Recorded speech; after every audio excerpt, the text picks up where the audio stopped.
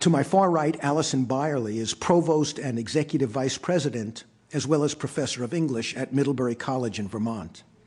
She received her BA from Wellesley, her PhD from the University of Pennsylvania.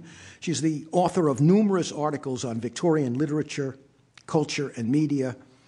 Her first book, Realism, Representation, and the Arts in 19th Century Literature, was published by the Cambridge Press in 1998. During a recent year of leave, she uh, spent some time as a visiting scholar at Stanford University, where she completed a book entitled Are We There Yet? Virtual Travel and Victorian Realism which is forthcoming from the University of Michigan Press. And as I mentioned earlier, she last visited MIT as a participant in 2009 in the Media and Transition 6 conference, where she gave a paper, a very interesting paper entitled What Not to Save The Future of Ephemera. I hope the humanities don't fit in that category in a few years.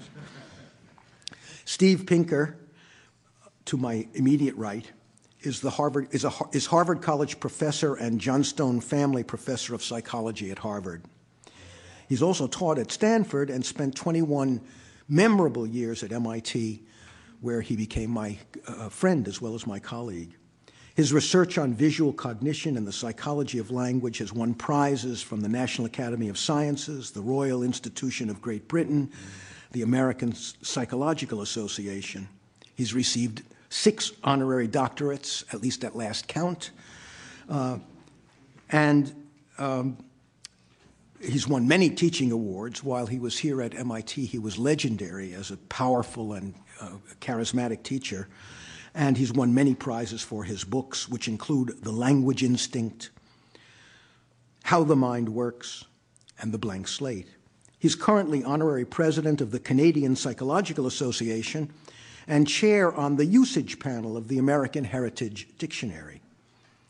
He also writes frequently, as many of you surely know, for places for such uh, uh, publications as the New Republic and the New York Times. He has been named at one point Humanist of the Year, so he has special qualifications to speak to this subject. and um, he has been listed in Foreign Policy and Prospects magazine as among the world's top 100 public intellectuals. I think he's among the top five public intellectuals myself. Uh, and he was named by Time magazine as one of the 100 most influential people in the world today. His latest book is The Stuff of Thought Language as a Window into Human Nature. So, two very distinguished panelists who I'm sure have a great deal to say about our topic. I thought we'd begin by, by, by uh, worrying very briefly about what, what we mean when we use the term the humanities. About uh, 15 or so years ago, more than that, I guess 20 years ago, it was just on the begin- just the very beginnings of the digital age. I remember because I was still using a computer that had floppy disks. I gave a lecture, a talk, a, a, a keynote talk at a, at, at a convention of of media, media practitioners and broadcasters. Uh, and there were a number of other academics there, uh, but they were in fields like economics and business. And there were many other distinguished speakers there from a, from a range of, of practical fields, but I was the only one from the humanities. And when I got up to give my talk, I thanked them for and said I was honored to be there and indicated that uh, I was especially happy to be there because I was the lone humanist on the panel. And I heard some grumbling, and I didn't quite pick up on what was going on. Continued my talk, and I, am usually very attentive to my audiences, and I, I, I couldn't understand why a kind of emanation of hostility was rising out of the audience. And uh, after I, and of course you can guess what it was. After the talk, one of my colleagues on the panel said to me, "You know, you made a bad mistake. They thought you were saying you were the only human being on in the, on the panel." So, so that's part of my motivation. That's part of my motivation for asking our two panelists to begin by defining the humanities. What do we mean when we say the word humanities? I don't mind starting because, as someone who teaches at a liberal arts college, I find that the humanities are often conflated with the liberal arts as one of those sort of generic terms that people toss around without necessarily um, defining very precisely. But one of the things that struck me as I was thinking about um, how we might approach the topic is, is to recognize that quite often these days the humanities is defined in terms of what it is not. It is not practical, it is not useful, um, it is not uh, something that will necessarily get you a job.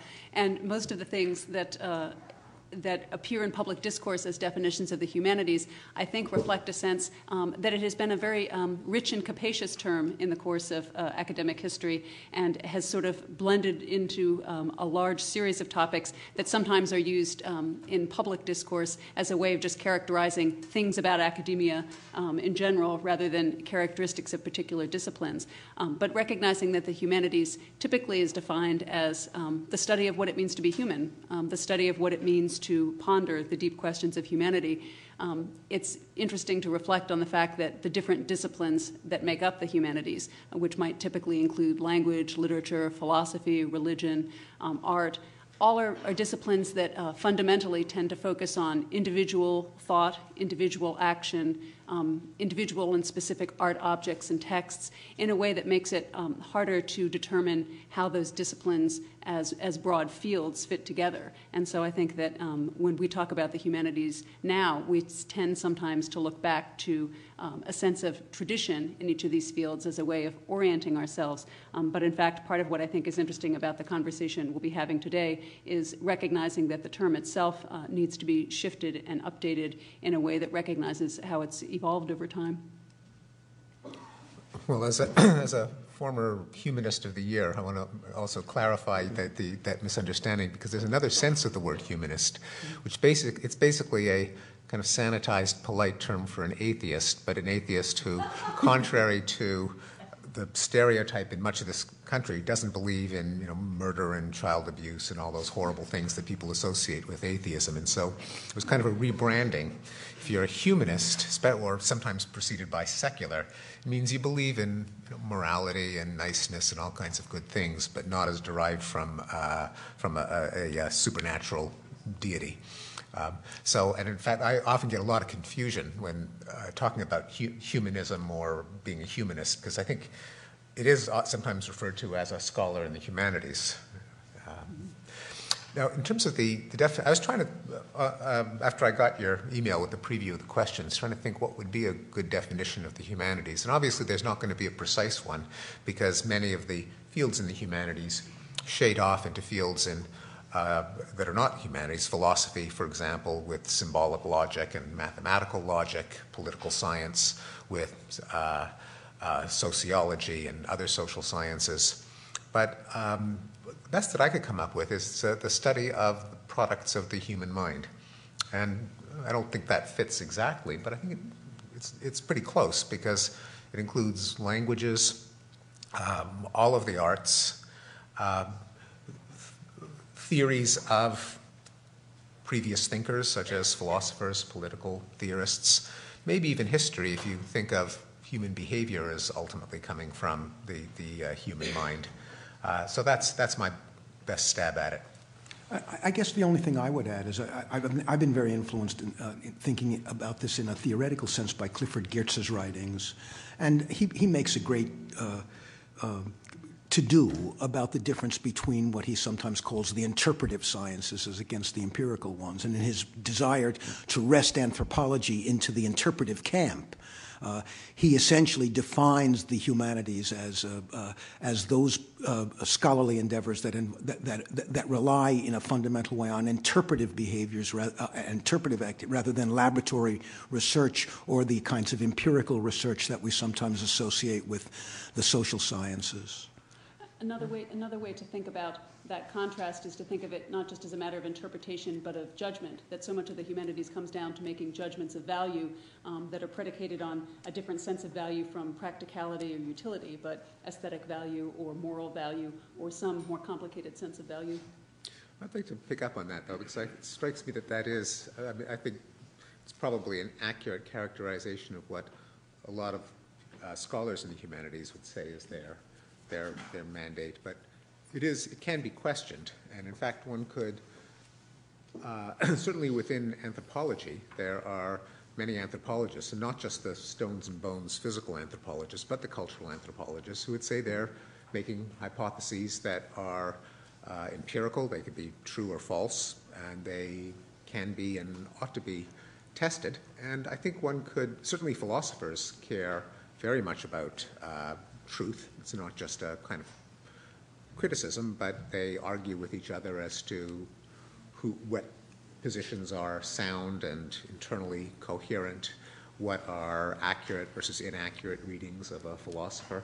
And even in, in literary analysis, one could say that many claims in literary analysis are empirical claims that, by the tradition of the humanities, have not been subjected to empirical tests the way hypotheses are in the social sciences and sciences, but, uh, but could be and maybe ought to be. So I'll, I'll, give you an example. This is from Jonathan Gottschall, a literary scholar who's been trying to integrate uh, literary analysis with uh, uh, evolutionary theory from biology. And so he came across a claim in a study of um, European uh, folk tales that there is a most of the females are described in terms of their physical appearance. A lot of the males are described in terms of their uh, prowess. They're often sympathetic, attractive female protagonists and unsympathetic older female pro- protagonists. And the scholar was attributing this to certain aspects of patriarchal European culture as it had developed at the time. And he thought, well, uh, that's a hypothesis. It could be due to some peculiarity of early modern European culture. Then uh, another possibility is that there are certain inherent biases to the human mind that um, uh, men are often valued in terms of their strength, women in terms of their uh, looks, and that might be a human universal. And so he went to an encyclopedia of, uh, of myths and folk tales. I think there were something like a thousand of them, uh, and sampled the ones from Europe and the ones from every other culture, uh, coded them in terms of how often a female character was introduced in terms of her looks or her age. Likewise, male character, looks, age. Uh, were the younger ones sympathetic? Or the older ones sympathetic, depending on whether they were male and female, and just did what a social scientist would do, and concluded that this particular hypothesis was, uh, was false, that the, asym- the sex differences that were observed correctly in the European folk tales were seen in folk tales in every single culture. Now, whether or not he's right or wrong, it's a case in which he took a claim which one would think has a, some uh, responsibility to being either true or false. I think most of us, and even in the humanities, if someone said, Well, is what you're saying true? Maybe there are cases in which the person making the claim would shrug, but I think a lot of the times they would say, Well, it's true or compelling, or you ought to agree with me, or there are good reasons for it.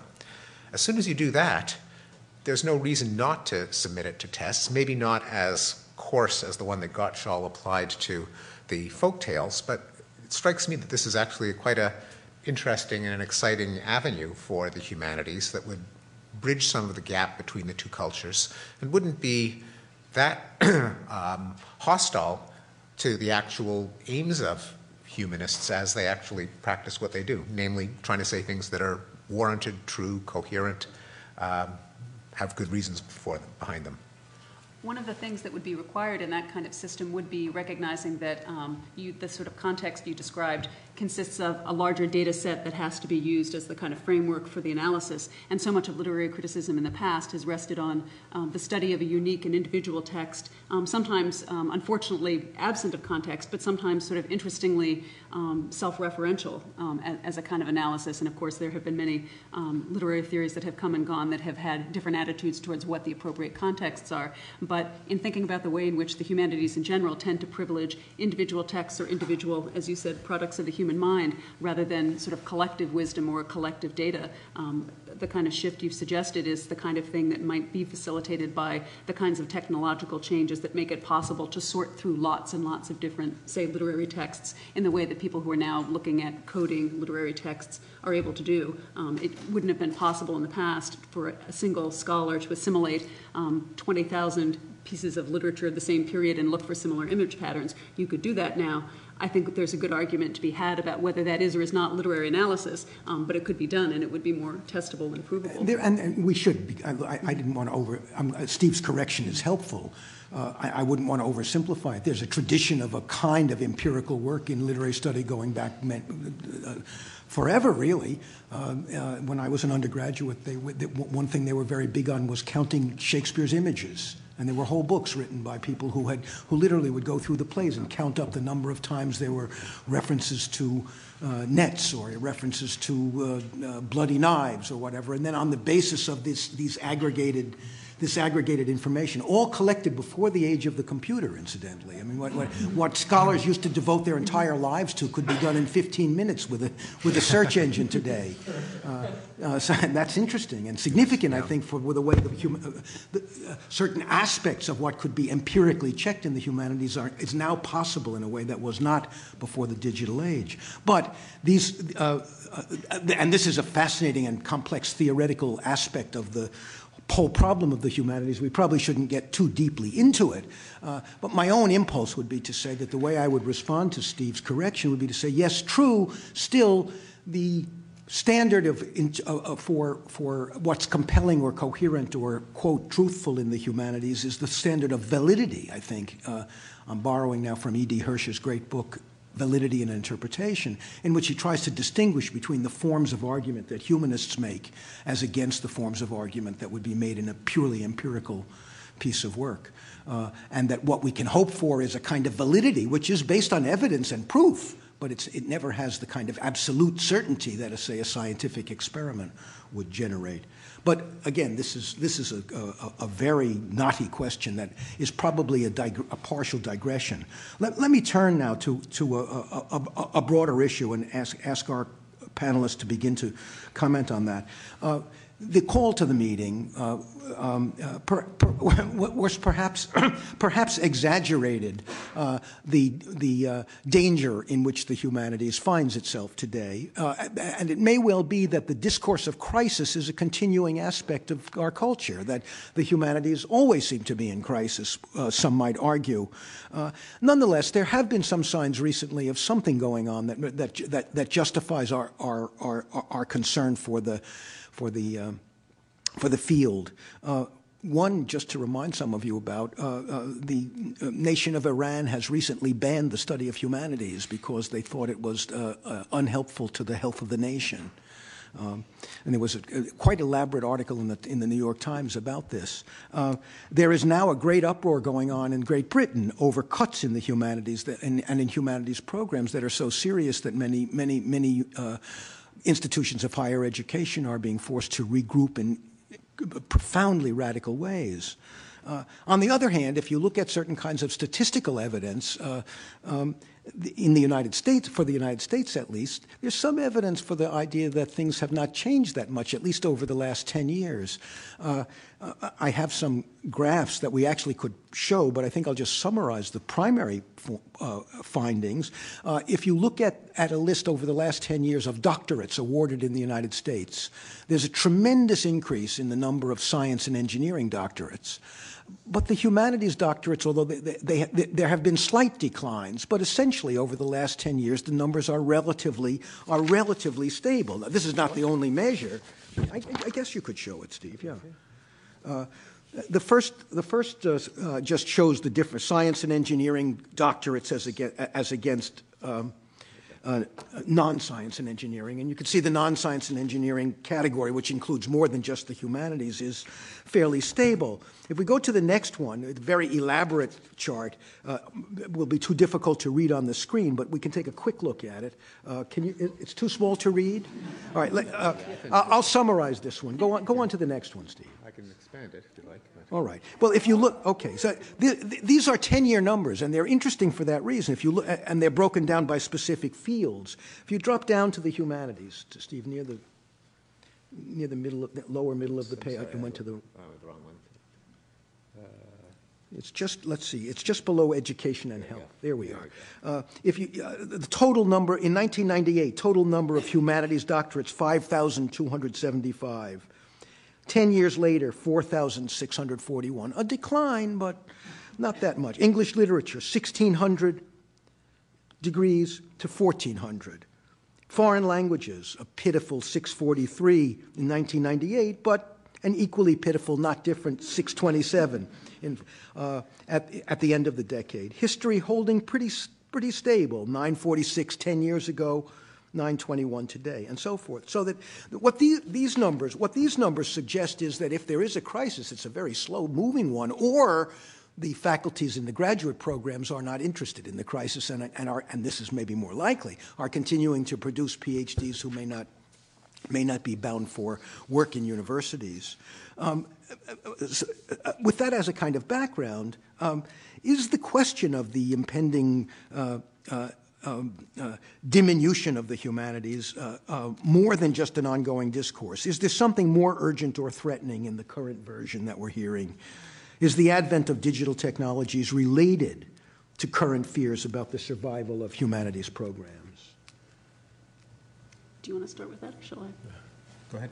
I, I, guess one observation I would make is that I think that in my initial remarks, I was commenting on the way in which the humanities tend to kind of stand in for traditional fields in academia in general in a, in a kind of um, broadly, uh, broad brush way. And one, one aspect of that, um, that argument is a recognition that there's a, an inherent sort of aura of remoteness about the humanities. Uh, the humanities is a field that studies the past and the very distant past, um, and at a time when technology seems to be speeding things up and bringing information to us faster and faster, I think there's a sense of um, the pace somehow of the humanities doesn't seem in tune with the times. And so, without there being a specific critique of what the humanities is failing to do as a discipline, I think at times there's a sort of assumption that it simply doesn't meet the current needs of the current generation without um, there being a careful investigation of what aspects of what disciplines um, need to be changed.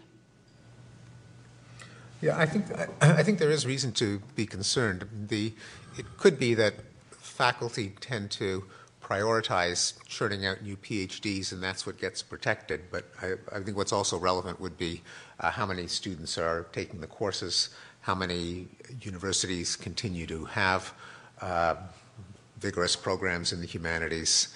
And my understanding is that the enrollment, the undergraduate enrollments, um, well, I don't know if they've been going down in the last 10 years, but they were going down in the years before that. And, and it is, I mean, the, the nightmare scenario is that the, uh, that the humanities have been surviving on a general idea that to be an educated person, you can't not have some big dose of the humanities, but that if we, if there was ever a, a uh, disaggregation of the more practical aspects of uh, university education in the eyes of students and the humanities, then it could spiral downward. I mean, a very terrifying analogy would be newspapers survived because the uh, classified ads for you know for, for mattresses and apartments subsidized the news and the editorials. Then Craigslist came around and disaggregated it. People could sell their mattress uh, for free on a website. And we all know what's been happening to newspapers. Steve just summarized the content of two of our previous forums. Okay. so the question is are uh, dollars and smart minds being uh, supported in the humanities as a kind of uh, spillover of all the kids who want to get degrees in business and engineering and law, simply because you, it's always been the American tradition that you can't just get uh, an education in uh, a bachelor's degree in business without having to do some you know, 19th century novel or, or modern philosophy. Uh, if you have the, at one end, the Phoenix University's nibbling away at students. At another end, uh, budget conscious deans who are just looking at what brings in grants or uh, what's most popular among students. Could there be a kind of death spiral of the humanities as it doesn't stops getting cross subsidized from the rest of uh, what we consider to be an undergraduate education? If I could add something, speaking as someone who's actually a college administrator myself, and so often in the position of looking at the budgets of different departments and comparing them, it's absolutely fundamental to our system of education that that kind of cross subsidy does take place, because in fact it's just inherently true that some fields are much more expensive than others, that it is much more expensive to run a chemistry lab, but on the other hand, a chemistry professor is much more likely to bring in significant grant money. It's much less expensive to study the Victorian novel. All I need when I walk into a class is a copy of Bleak House. But on the other hand, if we have accept the general premise that, that Steve outlined that education is partly contextual, that it's partly requiring you to learn not just the one thing you know that you came in to major in, but everything else surrounding it that provides an important intellectual context, then any disaggregation of different fields is inherently problematic. And so one of the things that's most disturbing about talks about the crisis in the humanities is the tendency to want to, to carve out different parts of either an undergraduate or university curriculum um, and, and pick out the ones that seem not to be thriving at any given time and, and talk about um, why they might need to be excised from the whole organic whole. That if, if you start um, breaking it into little pieces, you'll find that the kinds of values that are associated with different fields um, differ over uh, one decade to another, and certainly um, the budgetary impact is different. But once you start down that path, um, people like myself, provosts, you know, will start coming in and saying, well, this uh, department isn't as profitable as it might be, and perhaps this colleague isn't as profitable as he might be. And once you start that argument, I think it's, it's hard to shut the door on it. One implication of what both of you have been saying, I think, might be worth uh, expanding on a little bit, uh, or at least this is an implication I hear, and I, I have some sympathy with the argument. Uh, is it possible that the, uh, the idea of the humanities we're talking about uh, is, if not uniquely, primarily American? Because it's certainly the case that, that undergraduate education in Canada or undergraduate education in China or undergraduate education in most of Europe is much more specialized than it is in the United States. This idea that, that uh, you come to university to sort of grow uh, is not uh, universal. Uh, is, respond. That's certainly the case, and it's one of the things um, that I think many would point to as a real strength of the American system. It's, it's, a, it's a strong distinguishing feature, and if you send students abroad, for example, for their junior years at almost any other country, they come back amazed to find that um, in your junior year, anywhere else in the world, you're studying nothing but the major that you began studying your freshman year, um, that you've been studying one field and one field very intensively. In some ways, what seems most surprising about that is that in a context where most undergraduates are not, in fact, going on to be professional academics and getting PhDs, but doing something else. It's quite amazing to me that in Britain anybody is allowed to spend four years studying nothing but a single field um, that may not, in fact, be the vocation that they've chosen. Um, so, as an English major at a liberal arts college in America, you're learning lots of things in addition to English literature. If you're studying English literature for three years at Oxford, if you're not going to be an English literature professor, um, there might be other things that you'd wish you'd studied. and I think it's even. Uh, in, a number of other countries, it's even closer to the Phoenix University model where people just study things. They go to what they call going to university means basically getting education in, in business or maybe in law. Uh, I was surprised when I visited Poland that there were private profit making universities in psychology, my own field, which I didn't realize could, could turn a profit. Uh, but uh, these are basically would-be psychotherapists, and they kind of went to psychotherapy school, and uh, it was private, and they were shareholders, and uh, they didn't learn uh, the 19th century novel or modern philosophy, and was, you know, they didn't seem to miss it. I, I think they should miss it, but they. But, uh, the, the fear is that is that a direction that the American system could go in if uh, people don't value the, uh, the humanities. I mean, I want to take it in a slightly different direction that I think is relevant to this, which is, uh, I mean, Alison talked about uh, the problem of partitioning off the humanities faculty, and I don't know uh, how the dollars work, but it strikes me that a lot of places, tenured professor in the humanities in his or her 60s with benefits and retirement is pretty expensive, mm-hmm. um, especially if they don't bring in any grants. And so it, it is kind of a, a, a, tempting target.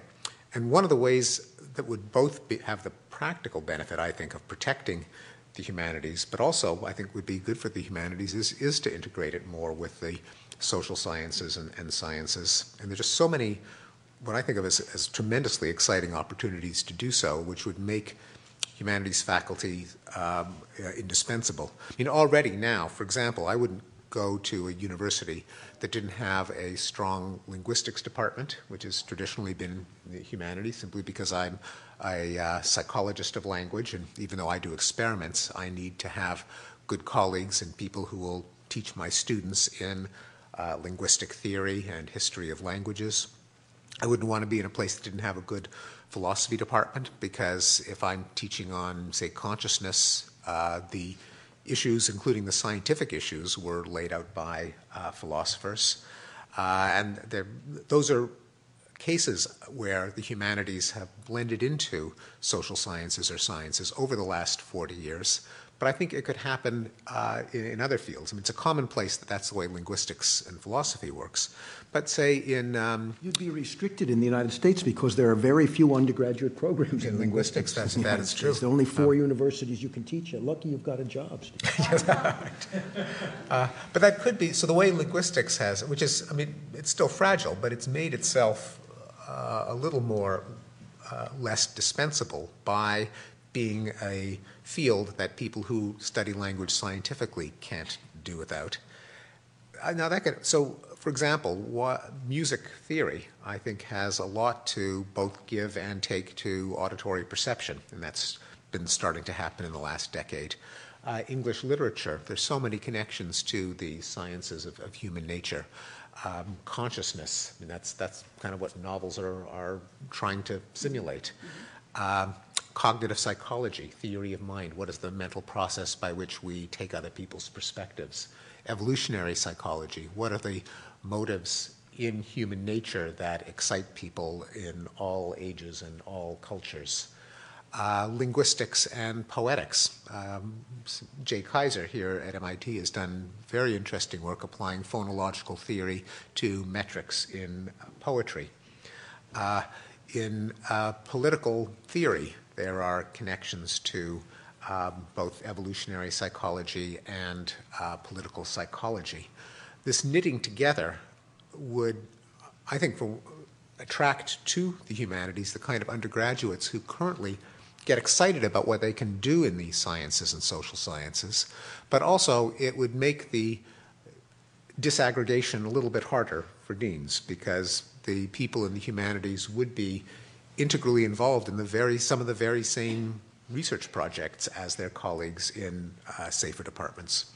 Alison has suggested uh, that that uh, already that that the field of the humanities, because it's always sort of historical, backward-looking in a certain essential way, uh, has a somewhat different relation to technology than our neighbors in social science, and certainly uh, in engineering and science. And I'm wondering if there are other aspects of this difference that we ought to address before we go on to what I think is more exciting, which is all of the so, so, some of the really positive ways in which digital technologies and, and the possibilities that now are available because of uh, the, our digital culture, what they, what, how they're not just dangerous but enabling to the humanities in certain ways, and that's where I hope we'll go in, in a second. But do you think that there are further distinctions between the, our field's relation to, to technology that I guess I would add that um, considering that that even the social sciences have become more data driven in the last um, decade or so,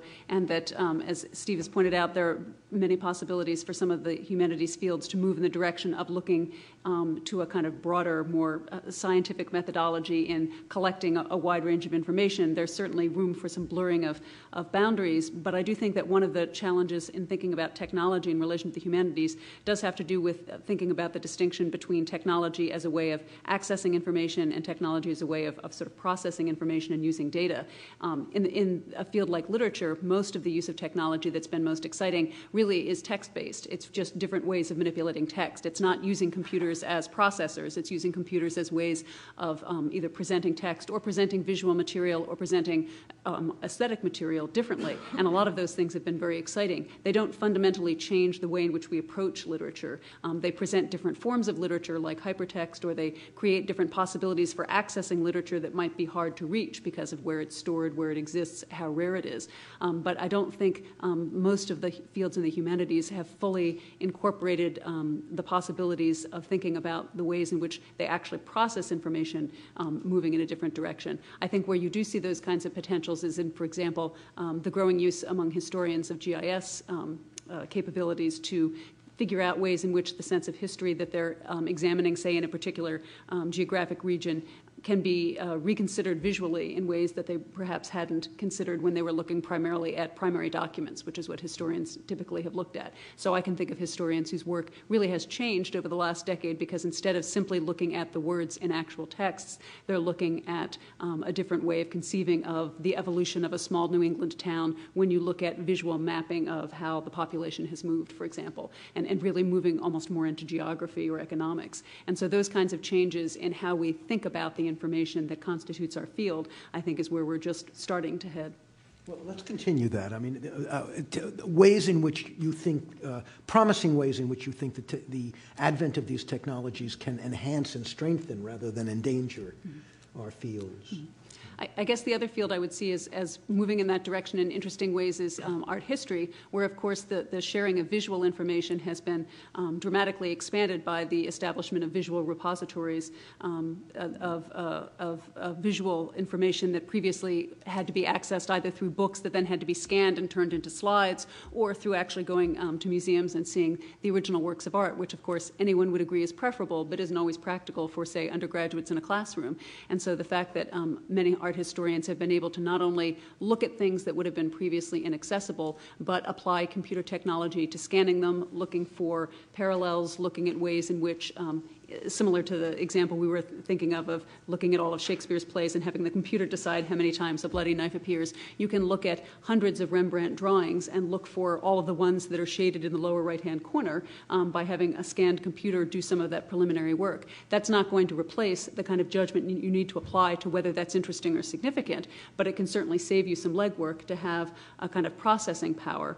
Um, and to me, one of the things that's interesting to think about is whether that will change the kind of privileging of the individual object that I mentioned earlier and turn it into a more broadly comparative, almost experimental network of data that one looks at. Um, that would really change, I think, the way in which most humanities fields have evolved, which is out of close study of particular texts, particular objects, particular paintings in great and loving detail, which is fundamental to each of those fields. But if that can be contextualized with a broader range of reference through being able to assimilate a lot of information more rapidly, that could be an interesting direction. Yeah, I was originally hoping to, to uh, give a demo of. Uh, a uh, project that I've been peripherally involved with, but um, for legal restrictions, I can't show it just yet because it hasn't been publicly uh, announced. This is a project that does automated um, text analyses of uh, Google Books. Now, you all know that Google Books has scanned, you know, gazillion books going back to the 1500s, and um, when it doesn't take much imagination to think that you could uh, search for text strings and see how they rise and fall uh, over the past few centuries. And as soon as I started to demo this, I mean, I just had the hypotheses that you can test that were uh, previously you might think are untestable. They're just, you know, influence, interest, uh, you know, dissemination of ideas. Well, you can actually see them in the percentage of books in different uh, eras that cite a particular author or a particular term uh, and so on. So, I mean, I immediately, I was reading a book by a, uh, intellectual historian and um, Lynn Hunt, um, who had claimed that interest in civil rights in Western history uh, peaked at two periods in the second half of the 18th century, the time of the uh, Enlightenment, and then again um, after World War II, around the time of the Universal Declaration of Human Rights. And so I just typed civil rights into this program, and sure enough, there was a big peak in the second half of the 18th century and another peak uh, after 1950.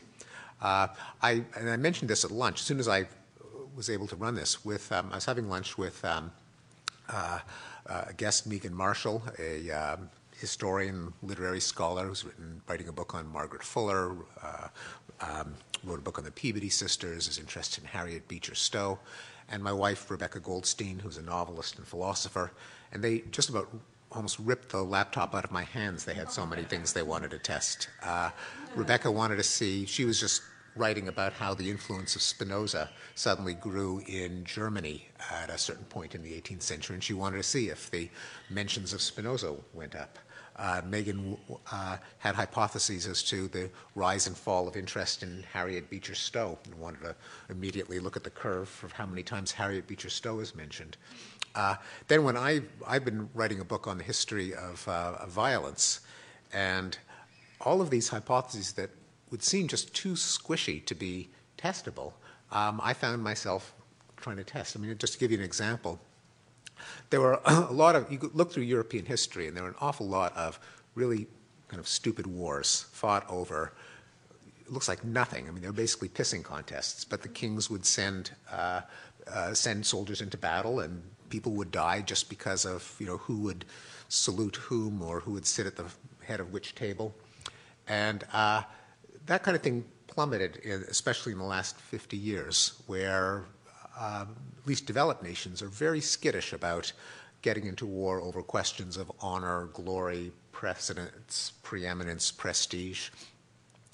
So I wanted, I was curious as to whether a word like glory, for example, probably doesn't have the same uh, you know, pulse increasing uh, resonance today that it probably did 100 years ago. I mean, I wouldn't go out and put on a uniform and risk my life for national glory. I mean, it just doesn't get the blood coursing.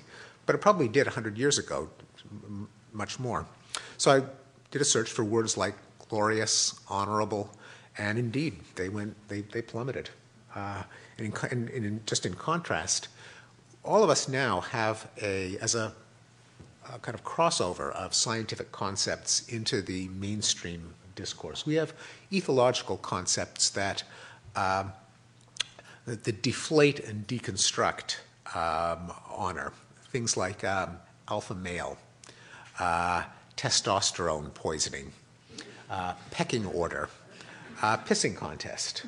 All of them are attempts to say that what used to be considered inherently and unquestionably noble pursuits might just be uh, you know, symptoms of too much testosterone coursing through male hypothalamuses. Uh, and indeed, as glorious and honorable went down, things like you know, pecking order and alpha male and testosterone and pissing contest went up. Now, that doesn't prove that this is why. Blame the women's movement? We should credit the women's movement for fewer. Good save. for fewer stupid wars. And actually, I do, I actually do make this argument, and there's a, this is one of my pieces of evidence. But that, that's the kind of thing that without tools like this would just be, well, you could say it, it's a good story, maybe you believe it, maybe you don't.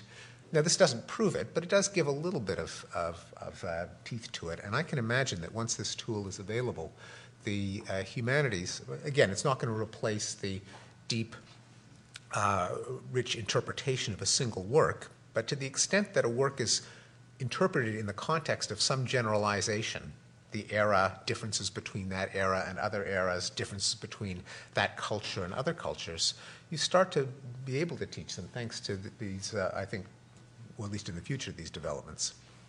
So, so one, one implication of what you've been saying clearly is that the uh, uh, way in which digital technologies allow us to aggregate knowledge in a way that had never happened before will open up not just the humanities, presumably, but all, all fields. That's certainly uh, a powerful and I, I, think compelling idea. Uh, but are, are, there, are there uh, other ways in which we can think of the possibilities of digital technologies uh, as, as strengthening or enhancing the humanities? Be, be, I mean, what you're talking about, Steve, here is a kind of almost specific scholarly application. I have a scholarly project.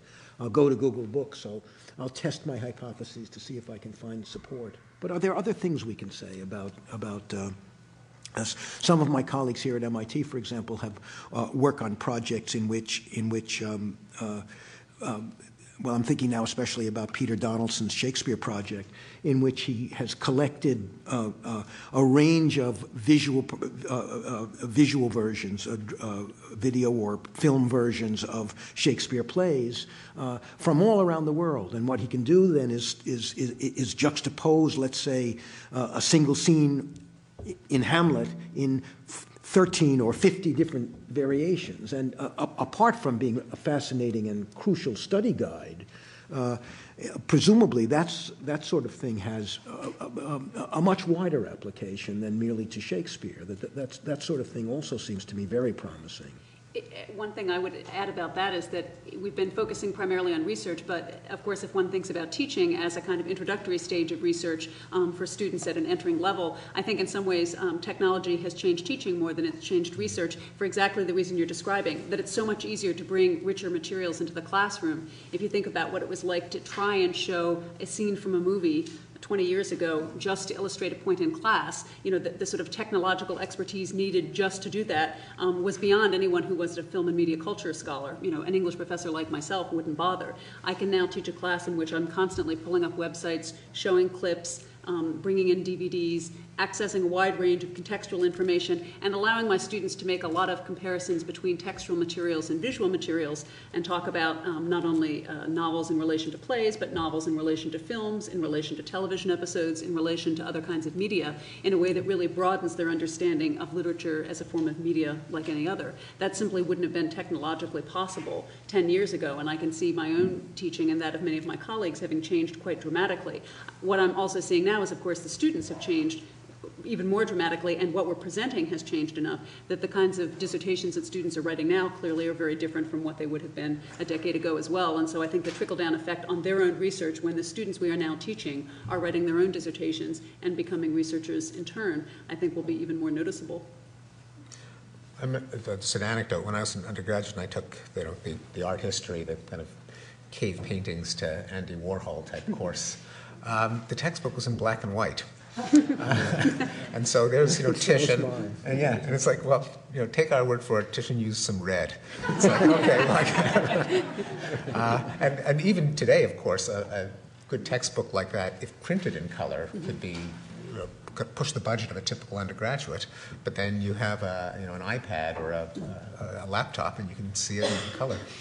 And if I could just follow up on that with, with another example, one of the things that you recognize then is that much more of what one does in the classroom involves working with the students one on one with the information in front of you, having allowed them to gather a lot of information on their own that you used to have to present in the form of a lecture. So that, for example, if I was lecturing on the Victorian novel, to use an example that Steve used, um, in the past I might have spent the whole first class doing background on the Victorian period. Now I can say, go to the Victorian Web, which is a, a website that George Landow set up that's wonderful has all of the visual material I would have shown them. It has wonderful photographs of what people wore in the period. It has lists of all of the important political accomplishments of the period. And I can say, here are the five things I want you to look at. I'd like you to familiarize yourself with these basic cultural trends. Now let's talk about the topic of this particular class. And I've saved an entire lecture and allowed them to do something much more interesting and interactive to assimilate information that I used to be the only source for. Now they can have that information in so many different ways that my role is no longer to aggregate information and present it, but to lead them through the analysis of the information um, rather than simply collecting it in the form of lectures. These are, these are uh, very positive things that we've been talking about, and maybe we can continue this sort of uh, positive note for a, for a moment. How about the way in which the uh, scholarly publishing and what you called in a note to me, the dissemination of information is changing because of digital technologies? Since I was the one who raised it, maybe it's only fair for me to, to take the first stab at that. Um, but one of the things that struck me in thinking about how my own field and other humanities fields have changed is recognizing that um, the sort of pace of research and presentation of research, which is fundamental to how we all conceive our careers and, and certainly to how we present, um, present work to students, um, is shifting so rapidly that I think a lot of what we talk about as a crisis in humanities is partly just a crisis in humanities publishing as well as in, um, in other academic venues. And so it, it looks worse than it is because there's such a clear sense of um, on the part of university presses. But one of the things, when I spoke earlier about a sense of the humanities feeling a little bit more timeless and hence out of time or out of pace with contemporary culture, I think is, is seen most dramatically in the pace of, say, book production, which now, which has always been slow, but now feels very slow when you compare the pace at which, say, scientific research appears in various websites, and then think about getting a, a book, a literary monograph accepted, which might take about two years from the time that you first start sending out letters that will sit on somebody's desk for a month or two, and then they'll get back to you. And by, by the time each reader's report has taken half a year and you've done some revisions and then it takes another six months for it to go before a board, it feels very slow and it feels very old. That's not necessarily problematic, but what it does do is create a sense that other fields are moving faster and that, um, that part of the sense of, I think, vulnerability on the part of humanities colleagues comes in part from a sense that we're still in the old publishing world and everybody else is moving into the new publishing world. So that colleagues in economics are publishing a lot of their work online. Um, colleagues in the sciences are doing most of their work online. We seem to be the only people left who are still doing books. And I love books, and, and everybody that I know would, would still um, enjoy publishing a book in addition to perhaps doing other forms of presentation. But the fact that that is the kind of canonical standard way in which we present work means that we're starting to move into a different kind of uh, universe in terms of our scholarly field from the one that other people are occupying. And I think many of us who do spend a fair amount of time reading other work on the web recognize that we're sort of living in two cultures, and there's the slow moving book culture, and then there's the rest of the world that's moving a lot faster. So trying to bring those things into alignment in the way that some presses, I think, are trying to do by expanding their, their digital publications seems to me absolutely critical to helping to bring the humanities along at the same pace that other fields are, are moving. There's, I mean, when you talk about the book, there are actually two different things that one could be referring to. One is something monograph length or longer, as opposed to a short article, and the other is printed on on uh, uh, dead trees. And um, so, a book itself now, I mean, obviously, it's never going to uh, have the quick turnaround a paper does, just because of sheer length. But in terms of publication lag, there's no reason anymore that it has to be as uh, slow as it used to be in the when everything was done just purely on paper. I mean, when I now when I do research, I'll have um, the, the physical book, which I uh, which has a lot of advantages. Paper is a very good medium for a lot of things. Um, but then I'll also have often either the um, iBook version open, uh, or I'll go to the page on Amazon or Google Books, so that when I want to do one thing that paper is terrible at, namely searching for text strings. Uh, I can just, even though I'm looking at the book, I'll then go to the screen, type in the text screen, find the page, go back to the book. And this speeds things up a lot because I've never actually timed it, but in doing research, relying on a thick book, you often spend a lot of time leafing, looking for some phrase that you read that you forgot to write down. It is uh, completely anachronistic that, uh, that we have to do that. Uh, a lot, and a lot of the the uh, physical constraints on a book really do start to feel frustrating. Like, um, you know, basically a footnote is a um, is a kind of a primitive uh, um, hyperlink uh, when when you think about it, and a uh, an index is a primitive search engine.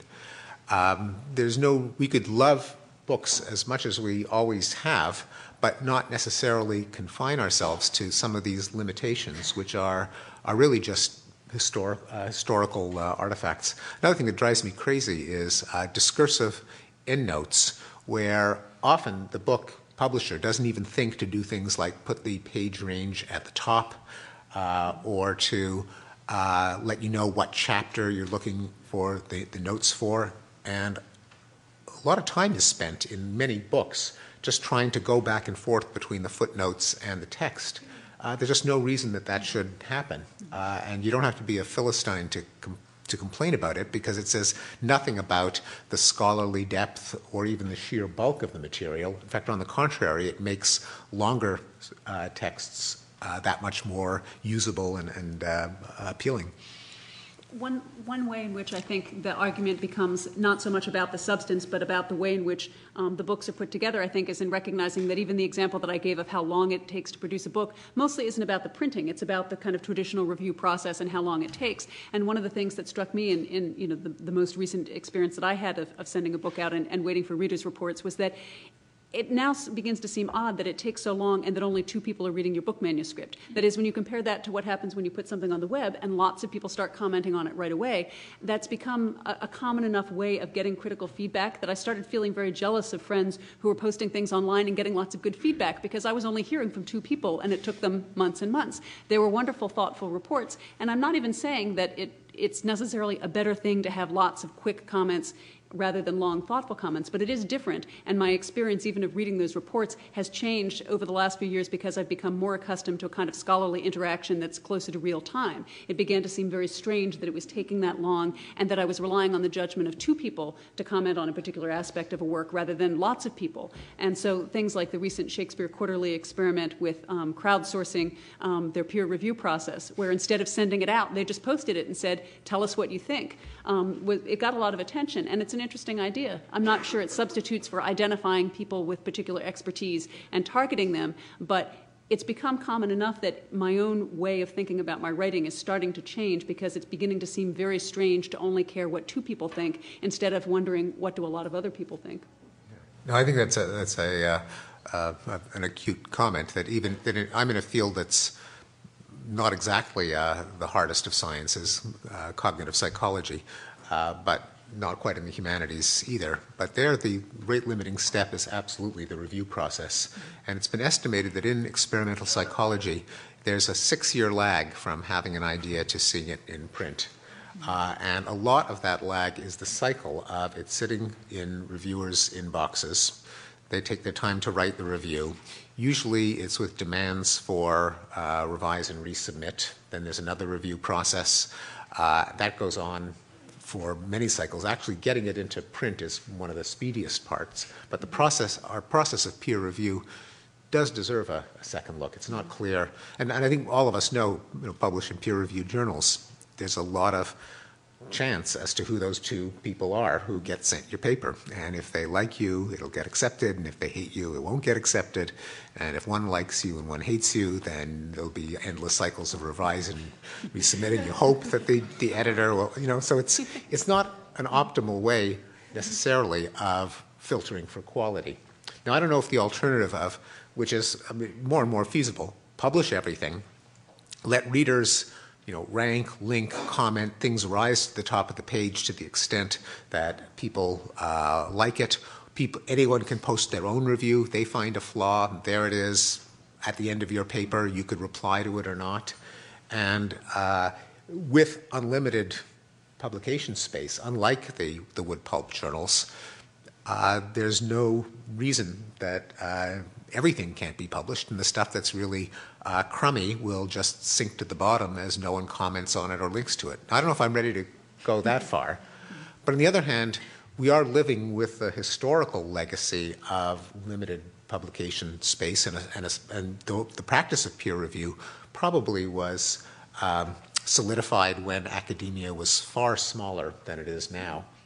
It's not clear if you were going to devise the process from scratch, and your desideratum was encourage and disseminate the highest quality scholarship, that the current process of sending it out to two people is necessarily the best and the that was put very gently.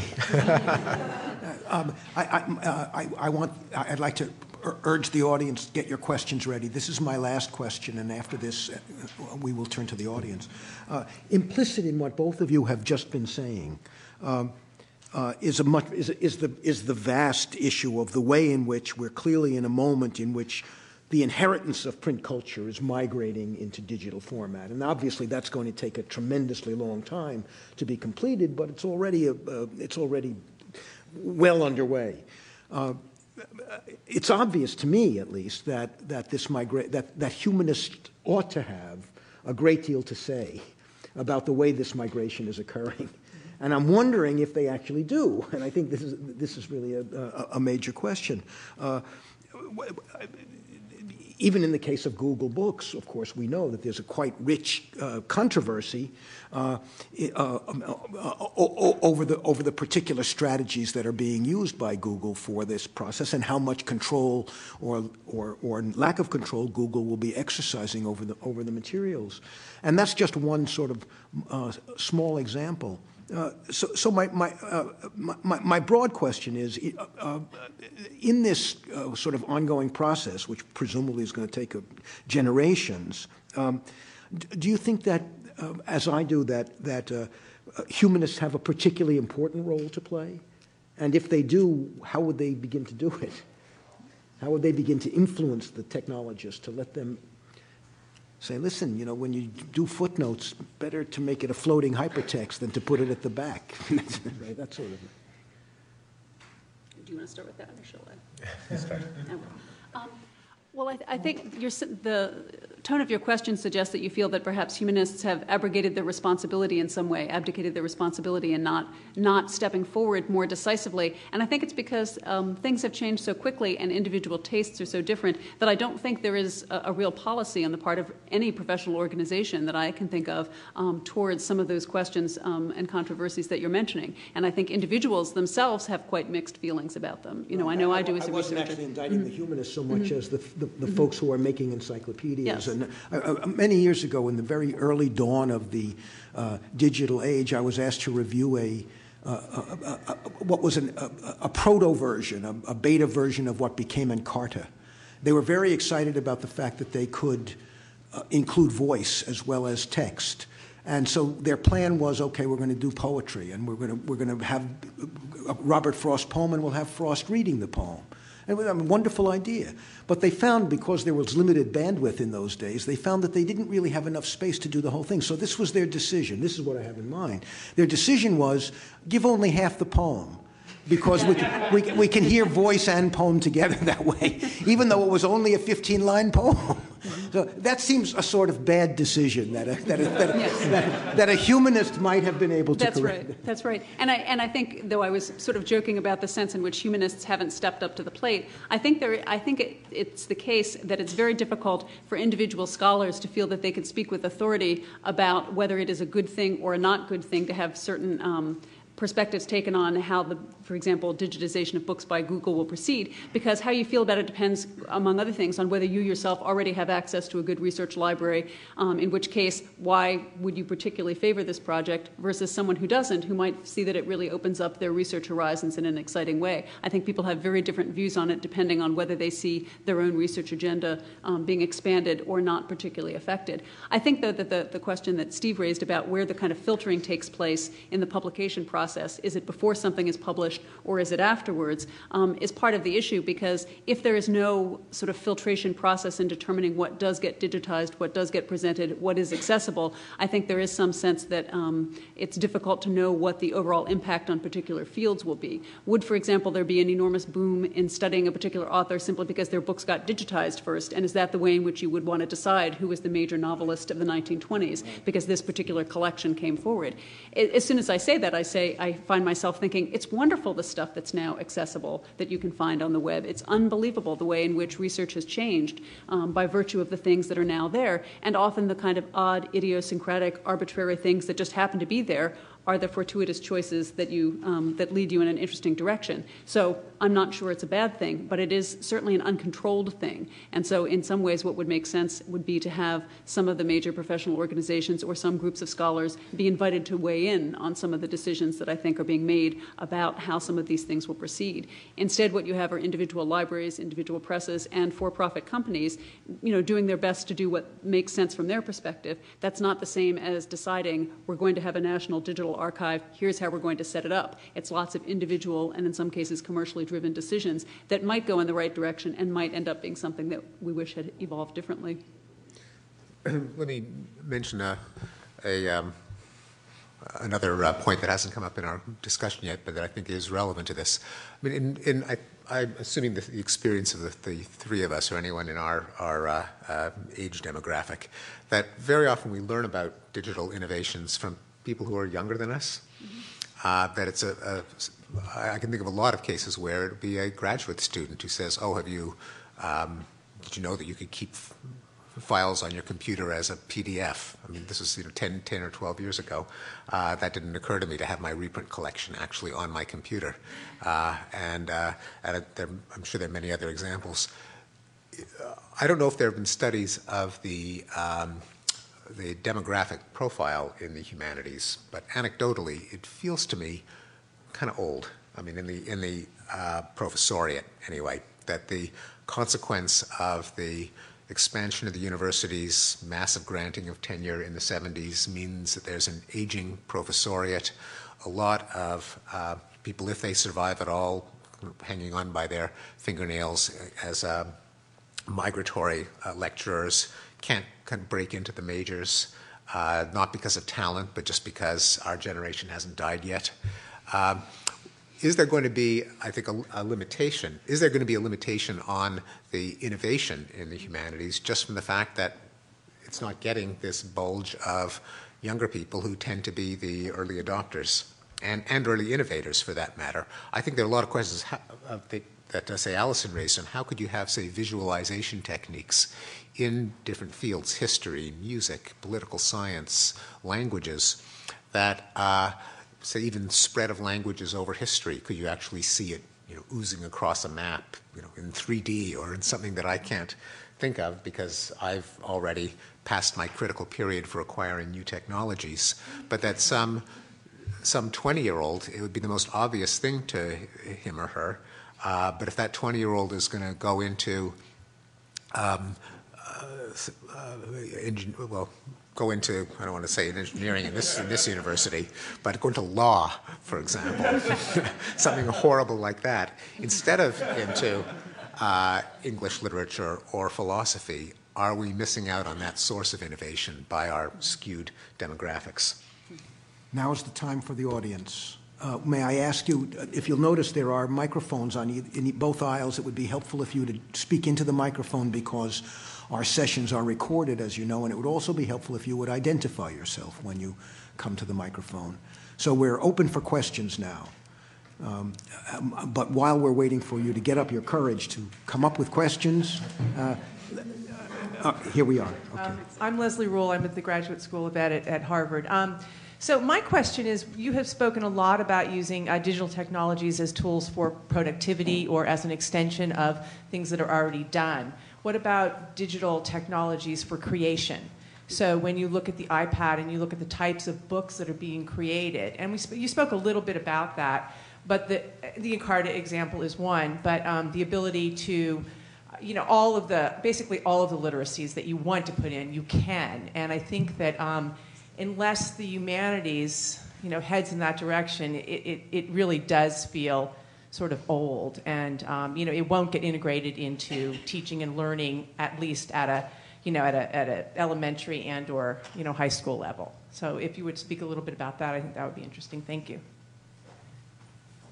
I'd like to start. Well, I'm. Uh, I think there is a, a lot of uh, promise in that. Just as in, uh, as Alison mentioned in lecturing, the uh, ability of PowerPoint to allow you to show images, animation, uh, video is a, a, very powerful teaching tool. I mean, it can be uh, used in gimmicky, distracting ways, but uh, for at least for what I do, teaching uh, psychology, the opportunities that it's opened have been uh, amazing. Uh, and I can imagine, likewise with books. I, mean, I, don't know if you've heard the expression a, a, a book.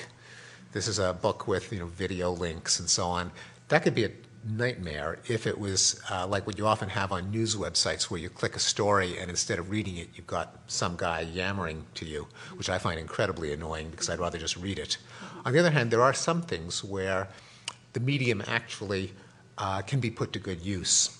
Uh, we already are used to that with, with illustrations. Many books have uh, illustrations and plates, and often it's important to have color uh, as in art history. In some cases, it might be important to have video or motion or sound or graphics. So, for just an example, the book that I'm working on now on violence, there's a discussion in which uh, I'm referring to parts of the brain that are involved in self control and violence, and I have the standard picture uh, of a brain.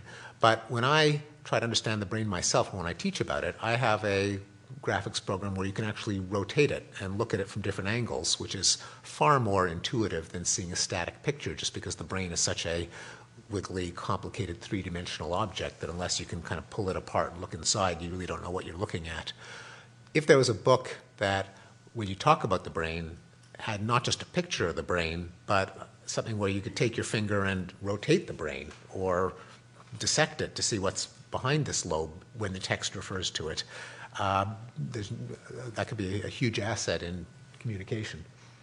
And I think that's where the, the sort of book debate will end when it becomes easier to do that sort of thing because already people, for example, working in fields like musicology are noticing pretty dramatic differences between what it means to write an article in which, if you're talking about a particular Brahms symphony, somebody has to go find a recording of it and in some other space listen to it and then come back to your argument and see what they think versus being able to click onto it and have the precise illustration that you'd like um, played immediately. But the, the question also raises, uh, points out the fact that we're talking from a scholarly rather than a creative perspective perspective that there's a whole lot more that one could say that's very interesting about the forms of art that are now possible using technology. And we've really been focusing primarily on, a, on the scholarly dimension. And so when I'm talking about a book, I'm talking about something like a scholarly monograph within my own field. If you think about how novels may change when people start incorporating video and, and illustrations into them because you can, I think eventually it won't be long before you'll have novels uh, or something that we might or might not call novels that will be a combination of text and image and perhaps moving image that will be an aesthetic experience that's not at all like anything we have now.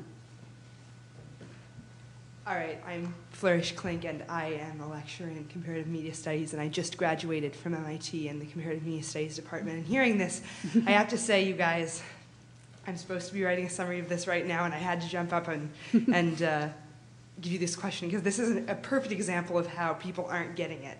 Okay. I just tried to write my master's thesis on a topic which, in many ways, was very traditional, but was about, you know, uh, some of these texts which actually do have video and, and animation and so on. And I was incredibly frustrated because the MIT library wouldn't take the information that is ephemeral. This is stuff that's all posted online and I can't guarantee is going to exist forever. So when you can't find it anymore, my work is total trash, it's gone.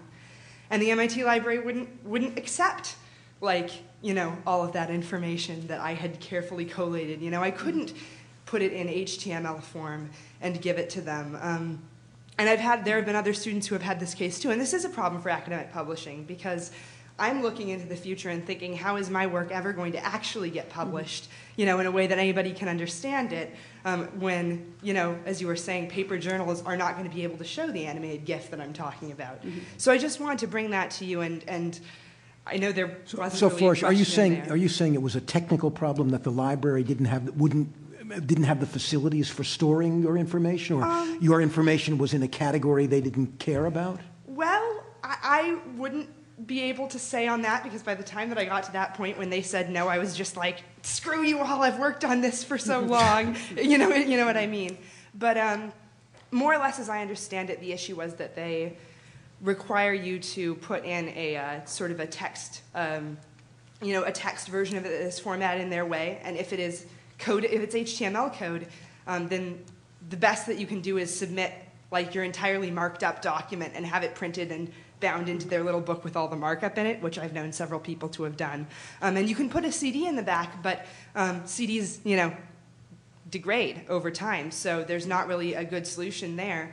Um, and also then, you know, you're responsible for going through a lot of bureaucratic mess to even get that CD in there, which by the time the next person goes to it will be degraded. Mm -hmm. So um, it's a policy issue, I think, but it's not just MIT's fault. You know, I'm not trying to pick on MIT. This is, I think, coming up in several places. So. Yeah, no, it's a, it's a media issue and a storage issue, but it also, it, it, seems to me there's sort of two places where that's a problem. In the creation of a work that relies on um, links that may disappear and materials that may be ephemeral, and then in what level of commitment of resources does the institution have to maintaining a variety of formats in order to keep those things alive? And that's, in fact, was, was a topic at the, at the uh, Media in Transition Conference that, um, that David referred to earlier, a recognition that because there is no organized system at work here, you just have lots of people doing lots of different things, there has hasn't really, nobody has come up with the sort of gold standard of here is what we're going to do to ensure that the same format that you're using, somebody else is using, and the library will be committed to maintaining. They're waiting for all of that, um, you know, they're waiting to decide, you know, which, which, um, which format and which system of any particular medium is going to survive, and that's something that just kind of happens in an evolutionary way. So I can certainly see why that's frustrating. One, one thing it seems to me, I mean, uh, this obviously is a question that goes far beyond the humanities. It applies to all fields, but it may have particular urgency in the humanities. It's the problem of what I call the instability of platforms. I mean, if you, the fact is, the book is an incredibly durable technology. And if you think about the delivery systems, platforms for communication that have risen and disappeared just in the last 15 or 20 years, you'll understand more clearly why this problem of instability is such a deep one.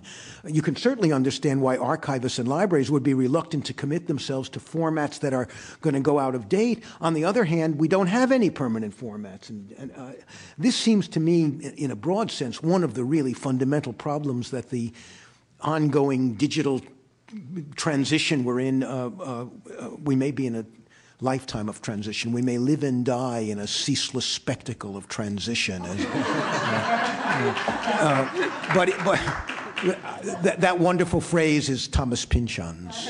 Uh, um, but if that's true, it raises this issue in a particularly acute way. Yeah, I mean, I'll give a, an example that probably a number of us are familiar with. When uh, you know, when, when I had to turn in my thesis, and there was this, this transition period where the librarians were still insisting that theses be submitted on you know, Crane's thesis paper, uh, typed with a cloth ribbon. Uh, xerography wasn't permanent enough because the little bits of you know, plastic could flake off. Inkjet printers were still kind of new on the block. Now, you can see the concern of the libraries. Uh, on the other hand, it would be preposterous to insist that all theses be submitted with a, you know, an ink ribbon the way they used to. In answer to your question, what do uh, humanists have to contribute to evolution of um, digital technology? This strikes me as a, as a huge one. Namely, who is asking the question, gee, what are people 100 years from now going to have as our cultural legacy if thing if you know the eight inch floppy gives way to the five inch floppy gives way to the uh, you know the thumb drive and so on? That's the question that the humanist can and should ask forcing everyone else to think about something that they may not have thought about. I myself think that one implication of this is that you have to be ready to commit to interim choices but, but that you should try to make the interim choice as, wide, as, as widely shared as possible. If it's only the Harvard Library that's made the commitment, it's much less helpful than if all universities libra- university libraries say, okay, uh, we found a semi-stable tech- platform, we're going to stick with that and see what happens for the next 15 years. And even if, new, new, even if nuances appear later, we're going to stick with this until we see that a better alternative is available. Uh, that's one partial strategy for this. But I think, in fact, it's one of the critical ongoing problems that face all forms of learning and education in the digital age. Question here. Oh. Yeah, Teresa. Sorry, sorry, Teresa. Yeah, I, I wanted to defend the honor of the libraries. um, Actually, the libraries are just enforcing the rules of the provost, as you know. So um, it really goes further than the libraries. But oh, I'm, I'm, I'm sure they were. I'm sure they were. But thank you for defending libraries and to the absolute problem that, that we have in being able to bring the archive forward to, to, to maintain for 100 years, for 200 years. You want your thesis read 50 years from now, and it won't be. It won't be if it is not in some stable format. So the libraries are working on it. We really are, and we've been working for eight years with the provost to come up with standards. We're getting closer, but we're not there. But Teresa, are you working on standards that are just for MIT? Does this mean that there are 15 or 20 or 30 different well, enterprises of this sort going on, and each will come up to a different answer? Yeah, we are we are sharing our our take on it with other university libraries, with ARL libraries, Association of Research Libraries. So I think when a standard comes, it will all be doing it fairly quickly on top of each other, but um, it's not here now. Thanks. Michael. I'm an archivist. At a little w- closer to the mic. Oh, can you hear me? Courtney Michael. I'm an archivist at WGBH, and also I have a history background. So I have a two-part question. But first, I also wanted to um, say that some of those those issues are also being solved by scientists um, and by publishers. Um, I think we don't have to be too scared about it. Digital object identifiers, permanent URLs, even the semantic web will help us with the permanence of these digital digital information. But my question, um, the first was just a comment on, on I think, your question about um, humanists, humanities scholars as creators of digital humanities as opposed to users. And I was wondering if you could comment on um, publication and sort of the um, the way that we weight different types of publication and the creation of digital resources for others. Also, um, Professor Byerly had talked about um, the length of the publication process, and I wondered if you could talk about uh, humanities scholars sharing their process more. I feel like scientists are a lot better at just sort of getting something done, putting it on the web, getting some reaction, and, and changing their process. And we sort of, as, as humanities scholars, hoard everything until it's closer to finished. Mm-hmm. Um, and then one, one more comment, um, just sort of on the culture of humanities scholarship.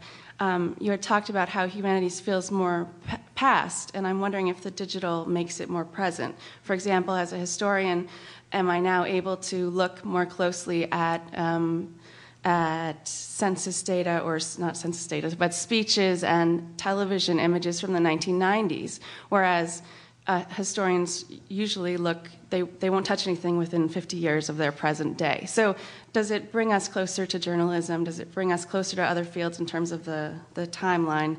And um, again, with, the, with the, the idea of um, waiting till something is published to put it out there, the idea of, you had mentioned, keeping one object sacred. I feel like historians, because I come from a history, history background, really sort of hoard their sources and they don't want to share.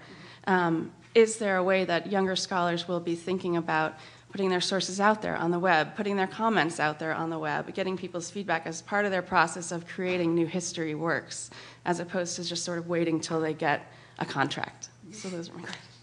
Uh, uh, your questions, I think, um, come together into a kind of general question about how interactive, um, you know, can we be as scholars, um, and how do we go about um, entering the scholarly community both through publication and um, through the kinds of resources that we share. And you're right that the humanities is not typically a very collaborative field, and it's not because humanists don't like each other and are not as friendly as scientists. It's because the nature of the research doesn't lend itself um, as well to the kind of collaboration um, that you see in other fields. You know, fields in which a lot of the knowledge that is um, created comes through aggregating a lot of information that different people develop is quite different from um, humanities fields in which you typically have large ideas coming from small objects. You know, you don't have a lot of data coming together into a specific hypothesis. You have large philosophical ideas coming out of one poem or one piece of artwork or, you know, one philosopher's ideas. It's a very solitary process. I think some of that is changing, and I think uh, that is one of the things that could be most interesting in the way in which humanities scholarship changes over time. So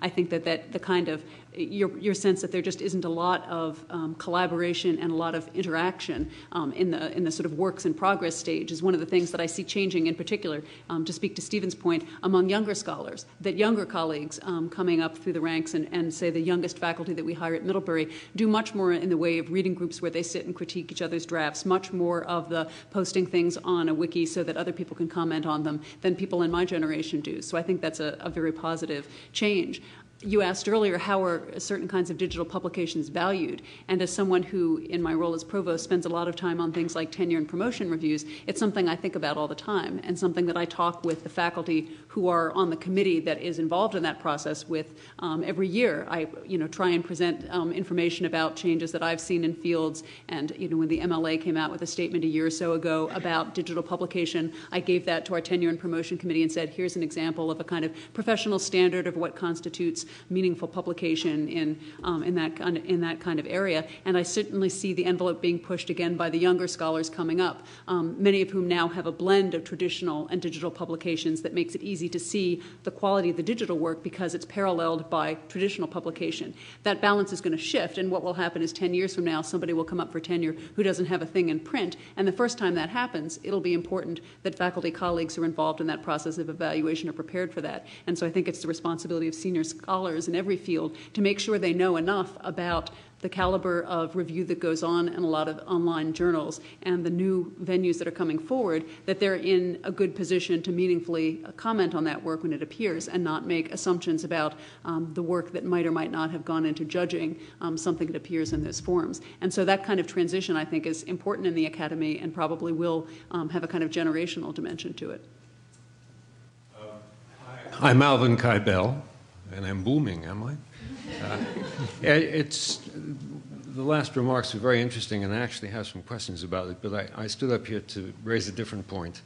Uh, the uh, talk so far has tended to the, in the direction of the aggregation of information, storage and retrieval and worry about platforms. And all of this gives the digital age a big leg up. It, naturally, it looks like something uh, that counts simply as progress and unproblematic progress. And of course, that's an old idea. The, uh, someone would write the history of maybe it has been written the invention of the printed book allowed standard editions which allowed indexing the contents which was a big boost to the storage and retrieval of information the invention in the 19th century of filing cabinets enabled huge huge bureaucracies to function and, a, and, a, and a, a, completely changed civil service.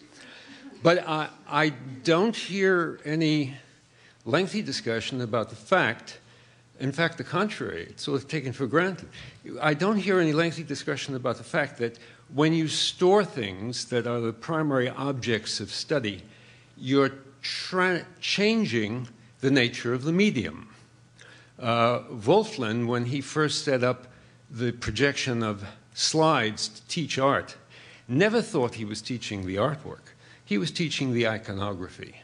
Now, if, if you look at um, a book like Andre Malraux's Museum Without Walls, which celebrates the fact that the book has changed, the, the color print has changed access to works of art, what he reproduces have, has a different size and, and uh, demands different modes of attention from the people who look at this, these works, especially when they're juxtaposed with other works which don't really have much to do with them.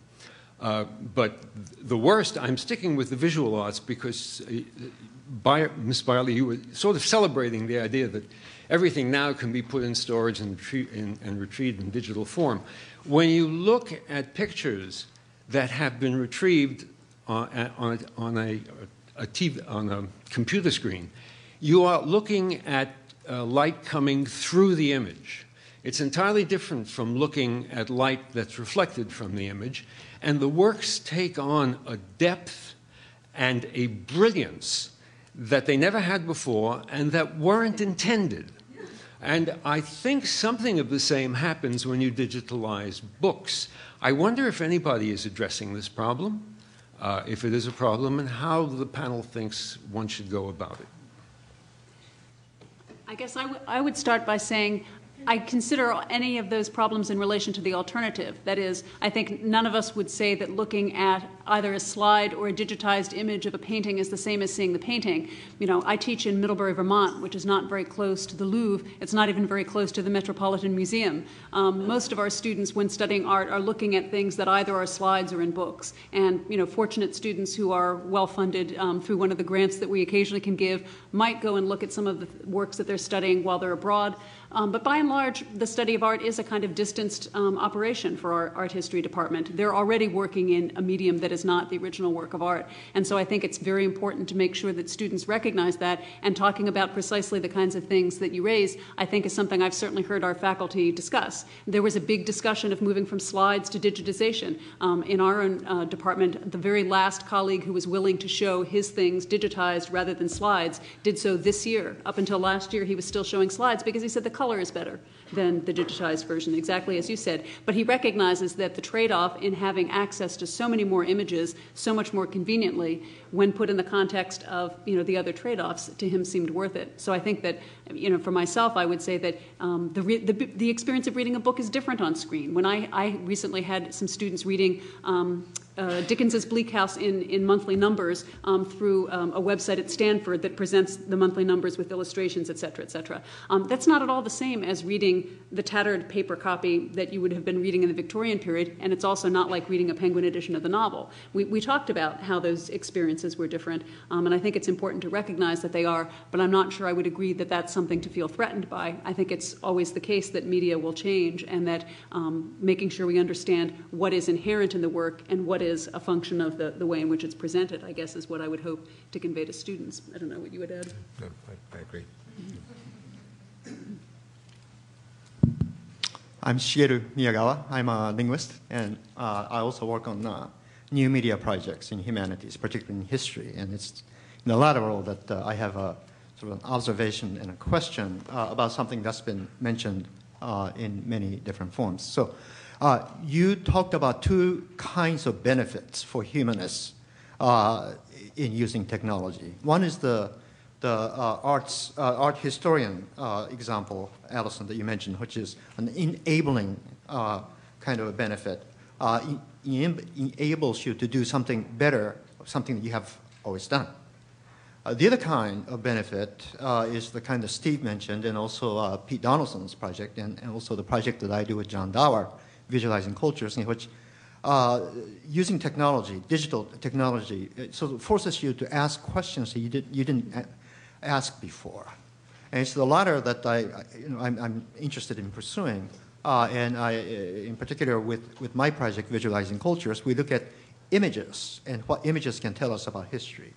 Uh, so historians uh, traditionally look at written text, uh, and particularly by author, written by authoritarian figures in society, and, and you create history out of that. And what uh, John Dower, who's a Pulitzer Prize winning historian, and I have been doing is looking at images, historically important images, looking at images as text, and analyzing that as a way to tell history. Uh, and, uh, and I think the work is very important. Uh, but you know, in the in the academy, you talked about tenure. You talked about referee journals. There's a huge, huge wall to climb. with Steve, you mentioned the age gap. Um, you know, I don't know that I would encourage a junior faculty to do this uh, in history because it's, it's, a huge gamble. Uh, you, you, you, can, you, can, uh, you can fail a career or, or journal article uh, by choosing, you know, making the wrong decision. Uh, and, but this, in turn, uh, keeps us from asking the interesting questions that are now uh, possible to ask. Uh, and so we're struggling with this. And uh, if you know of any previous experiences of fields that have somehow overcome this, what I consider to be a very, very um, big challenge for the humanists. Uh, and we're imposing it on ourselves because of this tenure system, because of the referee journal uh, system that we have.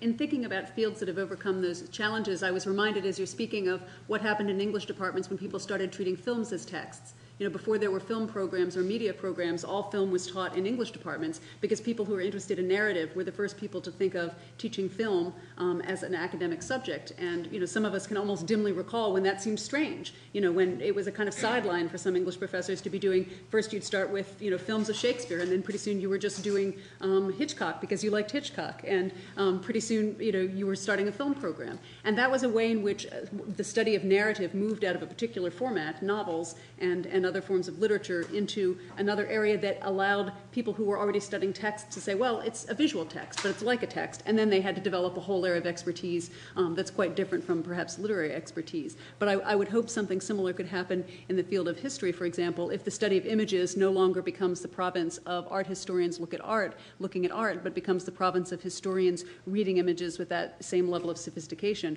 I would hope that could be seen as compelling. I, I guess what I would say about the kinds of processes that we're talking about is that the whole field has to collaborate in creating a system in which those things are understood. Candidates coming up for review have to make sure that they do lay the groundwork among their own colleagues for communicating what they do, which is what I always tell colleagues who do really cutting edge work. Make sure you tell everyone what you're publishing, why that's an important journal, who are the other people who have published in it. Um, if you're doing something online, make sure that you give people lots of information about who else is involved in this project so they can see what establishes the credibility. And I think that it just as fields, we have a responsibility to try and figure out how we can create a, a culture of understanding of what the new works are so that people coming up aren't disadvantaged by having colleagues of the generation Steve was referring to, that is ours, um, say, this doesn't look like real history to me, it's about pictures. Um, hopefully you would be a colleague who would not assess a, a junior colleague in that way and, and you know, could be part of an effort to make sure that that new trend is recognized in the field.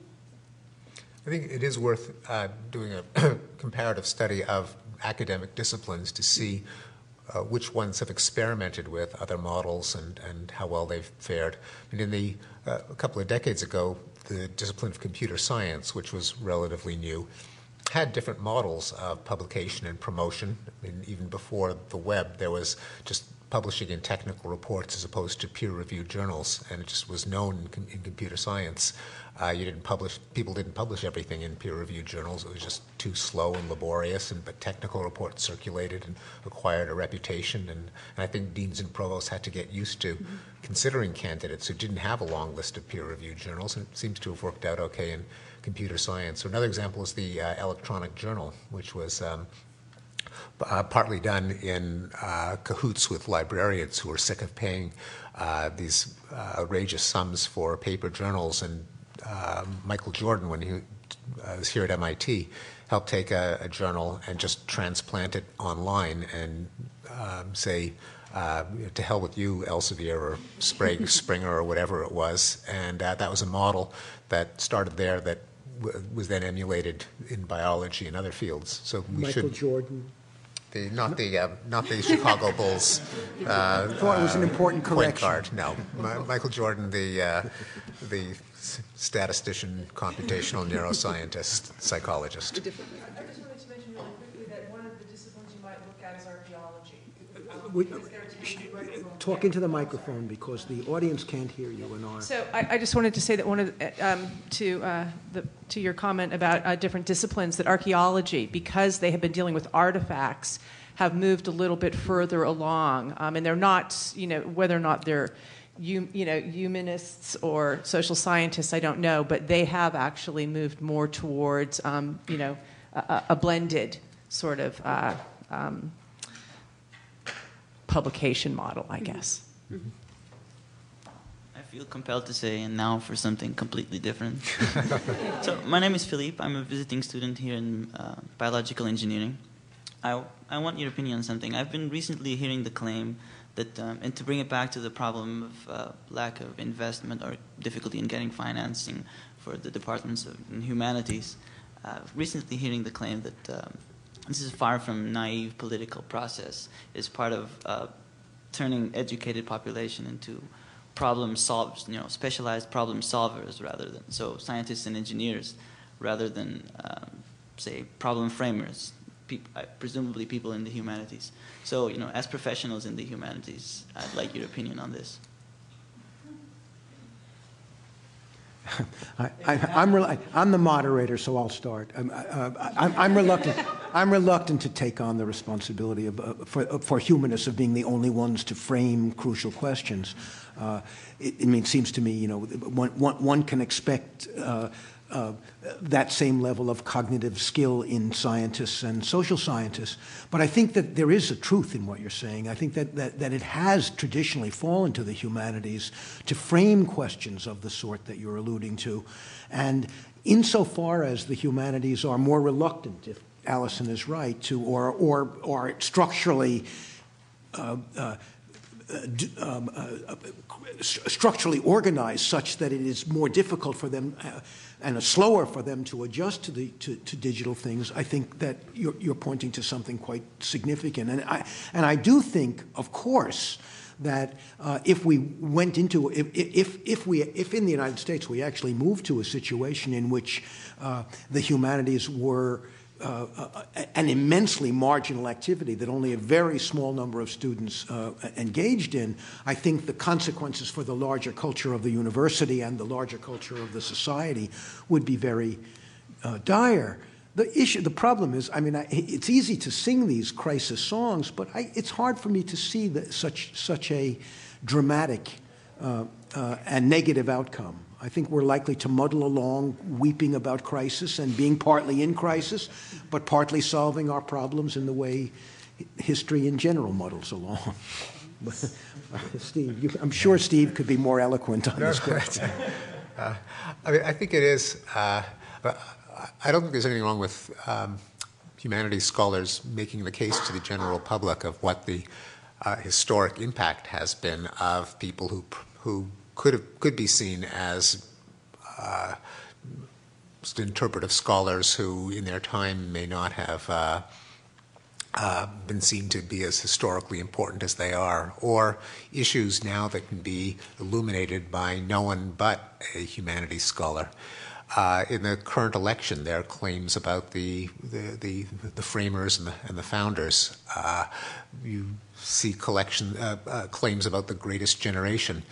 It's be great if more historians would immediately leap in and make sure that their number was on the you know the Rolodex of the radio and TV uh, show producers to weigh in with that kind of knowledge on historic issues that are very much on people's minds now, that very much depend on framing problems, not just solving them. Uh, and, and I think humanists would do well to uh, make that point repeatedly. Hi, uh, my name is Ahmed. I'm a junior here in course 9, Brain and Cognitive Sciences, um, mostly as a result of having read How the Mind Works when I was 11 years old. 11 years old. Impressive. Um, so, uh, I'm a 20 year old male, and this is a conversation about humanities in the digital age, so I want to talk about video games. um, I, I just want to hear your ideas about the video game becoming a, legit, a legitimate humanity. Uh, I think there are a lot of parallels between the video game and uh, the film. For example, um, I took uh, Professor Thorburn's film experience class, and we talked about um, the Fred Ott sneeze, which was just a five second video of a man sneezing. And I think we can compare that to uh, a simple video game like Pong, which isn't really played anymore, but we talk about in a historical perspective. And then uh, coming to the modern era, uh, with video games now being advertised exactly like movie trailers. If you look at the recent advertisements for Saints Row or Grand Theft Auto 4, they look like movie trailers. So I'm just wondering uh, what you think about uh, the progression of the video game uh, as a humanity. If I could take the first stab at that, I would I would comment that you know there's a, there's an interesting um, conversation going on among those who study video games about whether really they're closer to narrative or closer, whether the game aspect outweighs the narrative aspect, you know, whether you see them as a story that has enough sort of coherence and drive of its own that it's comparable to a film or a novel, or is it a game that is so driven by the, the player's experience that it doesn't have that you know, sort of aesthetic status that we accord to works of art. And, and one of the things that that, I think, debate raises is the question of how interactivity gets factored into our understanding of the aesthetic. That since most artworks are, are the product of um, the individual mind and are prized as such, we're not accustomed to attributing aesthetic value to something that is sort of co created between the creator and, and the experiencer. And so I think there's probably going to be a lot more discussion about how you place something like a video game before people feel secure enough about it as a sort of work of art um, to recognize that. That said, plenty of books being written about uh, video games now, plenty of people making them an object of, of serious study. You know, we've interviewed candidates in our own film and media culture program, even in Middlebury College in Vermont, um, you know, who work primarily on video games and do really interesting theoretical um, analyses. And so I think that it's already moved in that direction for those who are scholars in the field. I think probably the general public isn't accustomed to thinking of video games as something that is in the same league as films, but I think it probably um, is going to follow that same trajectory, I would think. I don't know It's already a bigger business than film. Yes, Yeah. yes, that's right. Yeah, we, we ignore it at our peril, I mean, given the number of dollars and number of person hours that it consumes. That's Yeah. true. Well, the, the, the CMS program here, as some of you in the audience Yes. surely know, is, is one of the is, is on the cutting edge of this. And I've learned much more from my students than I've taught them in comparative media studies about video games. It's obvious to me that they are a new, they are an embryonic aesthetic form, that they're going to be a major aesthetic form in the future. I don't think there's any question. I think that they belong to a special class of objects that are now emerging because digital technologies open up new forms of creativity that we're just beginning to discover. And I, I I think it's inconceivable that in 50 years or in 100 years we won't have uh, new kinds of objects of study in our curricula that come out of this revolution we're living through. Uh, Diana Henderson, and not for the first time, I'm not sure what generation I'm part of after listening to this conversation. Um, first, just an easy observation because I was one of the reviewers for the Shakespeare Quarterly. Um, it was not just crowdsourcing, believe me. Uh, before anything got online, it was uh, reviewed by traditional Oh, folks who know a lot about Shakespeare. And then some of us were asked to be expert reviewers, and we also opened it up for crowdsourcing. So I think it's a hybrid model that we might want to think more about, which doesn't sacrifice what I haven't heard much about um, yet, uh, which is questions of judgment that have been historically very important to the work of the humanities. And I guess I wanted to bring that back in. I also wanted to bring in, you know, critique as a positive. Um, and that maybe one of the reasons also we haven't just given up on the book, at least from when I talk to my colleagues, is that it's not just that we're old fashioned, it's also the sense of one of the things we have to offer in the humanities is sustained attention mm-hmm. to a complex article argument that cannot be made a Twitter, that cannot be even made, should not be made a single article. Um, and too many books are, in fact, inflated articles. We all know that. But to, to see the medium appropriate to the disciplinary work we're trying to do. So I think I'm hearing a little too much as if it's just a matter of lagging because of that. On the other hand, I'm very much in, in the forefront of wanting to work more collaboratively and in that regard, I also want to go back to the future uh, and remind people of performativity in that old sense. There are forms of collaborative artwork. Novelists, I mm-hmm. know, are not first on that list, but since I do drama, um, we've been being interactive for 2,000 years. And so the idea of thinking about the true comparative media model we have here at MIT, as we talk about this, I think could get us out of a couple of at least for me, dichotomies that I'm uncomfortable with. It's all generational, you know, it's just all going in one direction. I think we're replaying in a lot of ways, and Alvin was bringing this up, some familiar questions about media and transition. Um, and I hope we'll be a little more celebratory about this and put them in dialogue a bit more rather than just seeing this sequence.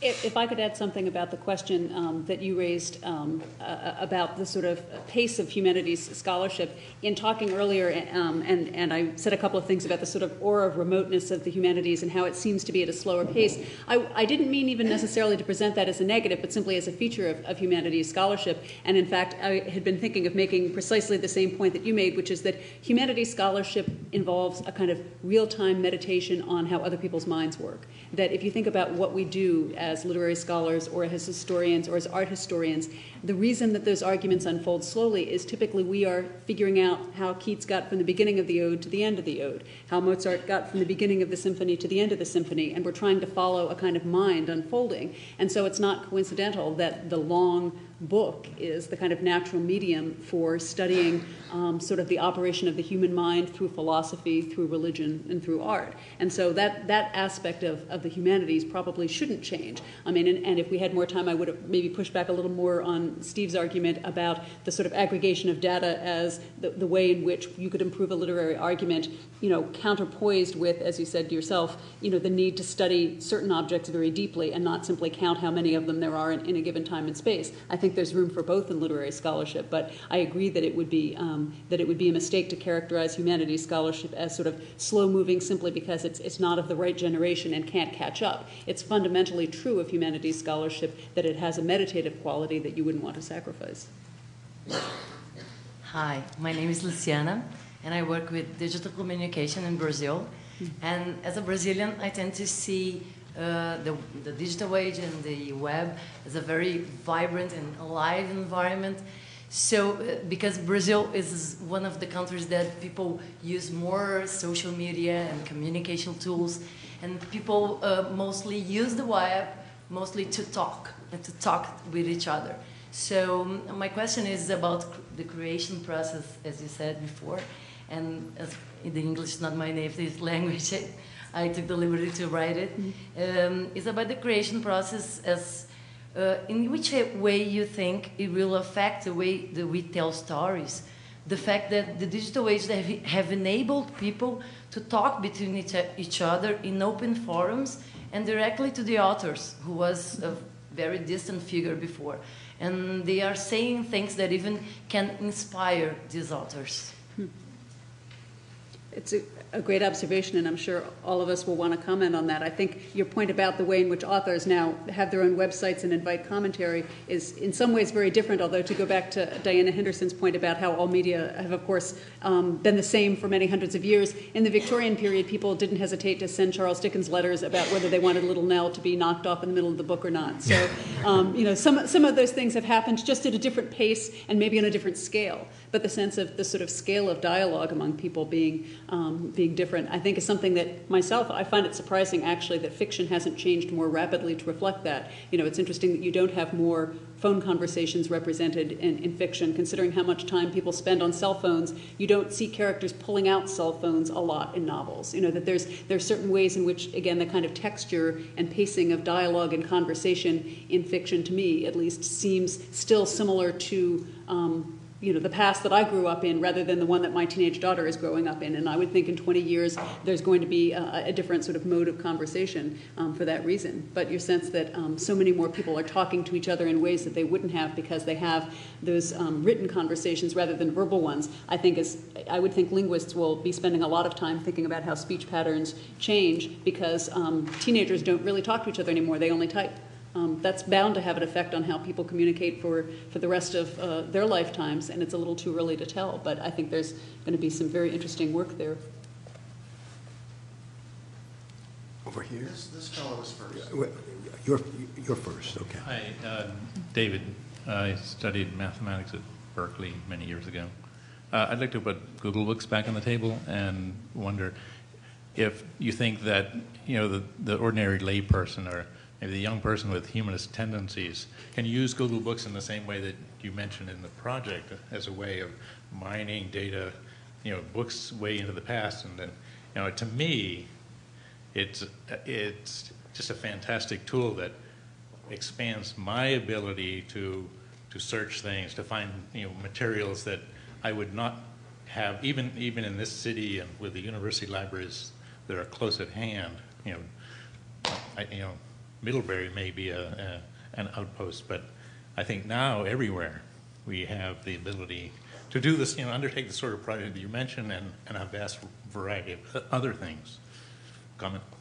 Yeah, no, I, uh, the fact that you have access to the, or will have the entire corpus of, uh, of printed matter. I mean, what, one of the terms that, that we use for this is the, uh, the human bibliome uh, everything that's ever been written in, in a book. Uh, at some point will be available uh, from an iPhone or, or an iPad. Uh, and um, we who are privileged enough to be in a university are all already used to having access now to almost all of uh, scholarly journals in the past 75 years. Uh, and that's obviously going to expand, and it's going to be a tremendous thing. I mean, it is sad to think nowadays you put so much work into a scholarly publication and it might only be in some unaffordable journal that some handful of libraries carry and no eyeballs are ever going to see it. Uh, the idea that it could be much more democratized uh, is very exciting. Especially, you know, not as if you make any money on it being uh, exclusive in the first place. So if everyone gets access to it, as long as we can figure out what to do with those journal publishers. Uh, likewise, in the case of the books, I mean, the, it is. I mean, the whole issue that we haven't raised at all is at what point does the excitement of digital access get uh, opposed by the lawyers and, and um, intellectual property holders? Uh, but that maybe that'll be. Well, you know, I think I think Steve, one thing I, I, can't resist adding here is that I think the point that Steve raised earlier uh, is very important here. I mean, it does seem to me that that many of these remarkable possibilities are endangered not because of the Luddite nature of humanists or because professors are slow, but because there are economic and especially corporate interests that are interested in using the knowledge in very different ways. So the notion of an activist humanist, uh, one model of that would be Robert Darnton, the wonderful librarian at Harvard, who was, even when he's wrong, I think he's helpful. Because I mean, I think he is sometimes wrong in his uh, notions about Google, but he, but he's, mo- but, but, but he's a wonderful example of someone who's saying, look, uh, uh, these matters are too important to be decided by corporate uh, by, by, corporate boards. There's a national, a public interest involved in how we make these decisions about uh, the ways in which the print culture migrates into digital form and it's incumbent on all of us to argue for that. I think that's uh, profoundly important, and and uh, I think a lot hinges on that. We can already see that images, for example, are much less accessible to scholars who want to use them than printed materials are. Uh, that's, that's an unnecessary accident of the fact that very aggressive lawyers for Walt Disney Corporation and others have uh, extended copyright in ways that are, that are, that are very harmful. Uh, so there, there's a very modest example of the kind of problem. It's not restricted to the humanities, of course, but a critical one. Over here. I'm Ralph Lombreglia. I teach fiction writing here at MIT. Um, I'm kind of surprised this question hasn't come up. I'm sure you saw Nick Carr's Atlantic Monthly cover article a few years ago. Is Google making us stupid? And he expanded it into a book, The Shallows, mm-hmm. um, What the Internet is Doing to Our Brains. So the thesis of this basically is that there's sufficient neuroplasticity, even in adults, to change yourself to change ourselves cognitively, and that we are.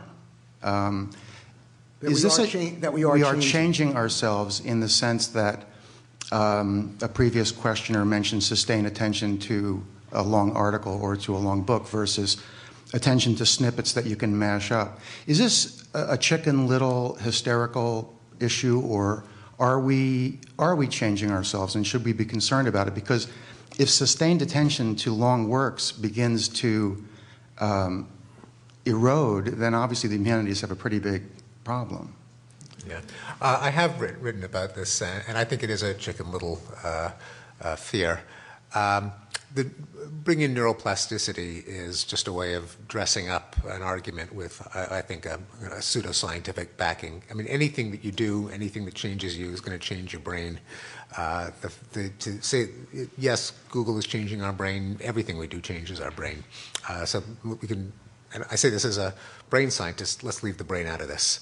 Uh, the, it, it, really adds so little to it. And it's, it is not the case that fundamental uh, properties of brain uh, operation, like um, the ability to multitask or the ability to hold things in long-term memory, changes as a result of whether you see things on a screen or on paper. Um, also, I think the, um, the, the popularity of Twitter, which seems to be kind of symbolic encapsulation of people's fears of a limited, limited attention span. It's almost designed to make you think that that's the only way that people communicate. Well, there are tweets, but as far as I've noticed, there hasn't been a decline in, um, in book publication. There's still, you know, just last week, a 900 page biography of George Washington came out. Uh, I, um, the fact that sometimes you have things. Perhaps in, not by a tweeter, though. maybe, maybe, not, but it's, uh, but I think it's selling well. Uh, I think we need to have information aggregated at multiple grain sizes. The information is increasing exponentially. You, uh, there's a lot of good stuff out there. Not everyone can read everything. Uh, we just none of it. We're all mortal. The uh, idea that uh, you have indexing services, abstracts, uh, pointers, links, ways in which you can get a sample of what's out there without avoiding the reading of long books or long texts, but also having access to the summaries and the capsules is uh, is, a, is, a, wonderful thing. I mean, if if we could only if, if we couldn't learn about anything other than by reading a 900-page book, we would be intellectually impoverished. There's just too much knowledge being created. So we need a, a mixed diet of links, tweets, abstracts, short Wikipedia articles, and 900 page books. I'm saying that having just finished a 900 page, writing a 900 page book. So I don't even know if I could read one anymore. we have two final questions. I was, just, I was interested in your discussion about the, compare, comparing American universities to um, international universities and how curriculum is developed, but I wondered um, with the acceleration of the the, uh, the world is flat, basically, that we can really still have this difference, and that, that because Americans have to compete with uh, people coming out of China's universities with very specialized knowledge, if this is really something that uh, maybe the humanities we need to push onto high school. Um, and because we have now this, I, I've seen reports about how much more, um, less time students are spending in college than they did uh, 20 years ago. And maybe that's because they don't have to type as much and do as many manual kind of tedious administrative tasks and maybe have more time for thinking. So I just wanted to comment, if you could comment on kind of maybe how high school and university will change as a result of the productivity increases and also our competitiveness. I could, I could take a stab at just saying one um, aspect of your argument that I think is interesting has to do with the sort of productivity question and you know what what college students do in the course of a year versus what they might have done 20 years ago. As someone who teaches and as an administrator at college, um, the students talk all the time about how they work much harder than students ever have in the past. And my recollection is that 20 years ago they were making the same argument. We have actually done sort of studies of you know ask them how much they do for each course, et cetera, and, and add it up. And what we do find is exactly as you described that the sense is that the students are doing are spending about the same amount of time that they have you know at certain kind of measurable points in the past, but they're spending it differently. They certainly still have plenty of time to play video games, to participate in athletic activities, to do lots of things, but they have a much uh, busier sense of their lives. They feel much more overwhelmed by busyness, and I think that that's part of our culture as a whole. But in thinking about how that educational system in America compares to what we have abroad and then compares to what they're coming out of in high school, I, I, guess one observation I would make is that we do have our educational system is moving in a slightly more regimented direction because of you know all of the need uh, for assessment and accountability that is driving high school curricula to be very very structured, and so students coming up through um, through the ranks in college. Um, I think typically expect many more tests, quizzes, um, online discussions, lots of apparatus, lots of different grades because they're accustomed to having lots of those grading points. A lot of time gets spent in what you were calling kind of administrative stuff rather than the kind of long, thoughtful um, sorts of works that we might have, have um, asked students to produce in the past. When you compare that to what's happening in other countries, though it's tempting to say we're not competitive because they're more focused, everybody's trying to come here. You know, the, the fact that, that in most foreign countries it's very prestigious to send the top students to American universities suggests that other people have not dismissed that as a model. And so I think that, if anything, that the struggle will be to maintain the kind of space that's needed for the most thoughtful sort of learning and not be pushed too far into creating the sorts of structures that do become, you know, the typing of the future, the busy work that is not really necessary to learn. And also the reverse of what you've suggested has often been suggested about Asian education, for example. Uh, in other words, the fears that many people that uh, in, uh, educators in China or in Japan have is precisely that they're producing students who are taught in a kind of empirical, rote learning way, and they can't frame questions. They can't um, um, deal with the kinds of larger issues that, that, that you must confront when you actually go out into the workforce. So it doesn't work. It's on, so, so the, the reverse of the argument is often made about the more regimented forms of education. I would certainly think that the notion that uh, the humanities should sort of uh, deliquesce into, into the high schools is not, is not something that would be very helpful. one, one more question. I, no pressure being the last question, I guess. Um, uh, first of all, uh, my name is Mitch Smith. I'm, uh, I work in the interactive department at WGBH, but uh, more than that, I'm just a, a linguistics enthusiast, so, unashamedly so. But um, the, I wanted first just uh, comment and applaud Dr. Thorburn's observation that the, the, idea of a crisis in, in humanities is really kind of an, has to be an overstatement. The, the, the academy for a thousand years has been based on humanities and on, on conservation of information and, and uh, really humanities is the centerpiece.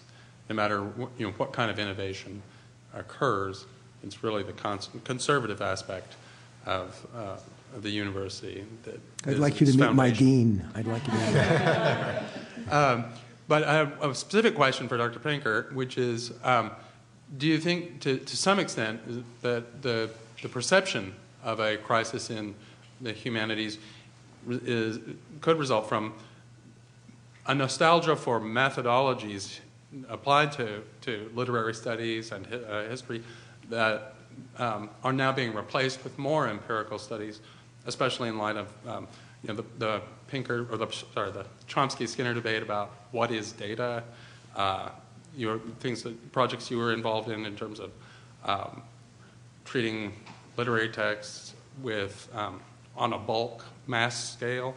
And then I also think of uh, people like Haj Ross and uh, um, uh, treating poems as sort of um, uh, sources, not only sources of linguistic data, but also applying the tools of linguistics and scientific method to the analysis of, uh, of the works of masters of language. Yeah. The, in fact, uh, you mentioned Haj Ross, a former colleague uh, at MIT who collaborated with uh, Jay Keyser, who I mentioned as Ah. applying linguistic theory to uh, poetics. They, they worked together on some of that. Uh, it's a good question. I don't know if, it's, if it is nostalgia for uh, older methodology, because I don't know how many inroads these interdisciplinary, uh, either hypothesis testing or synthetic uh, consilience between science and humanities have made any inroads. Um, so I'm not. I don't know if it's if if uh, that's what's motivating the decline. Um, I think there's there's certainly some dread, and some of the same people who are uh, bemoaning the decline of the uh, humanities are saying, well, whatever is going to rescue us, let it not be that. uh, so I'm not sure that that's uh, um, the, the diagnosis. I mean, I think part of it is uh, a fear that some of the exalted Eurocentric forms of art are getting less bandwidth than they used to.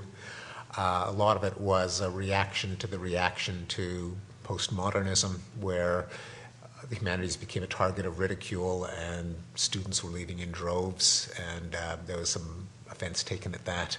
Um, but not, not being directly in the humanities, I wouldn't have as much insight as would be necessary to answer your question. I'd like to thank my panelists and especially thank the audience.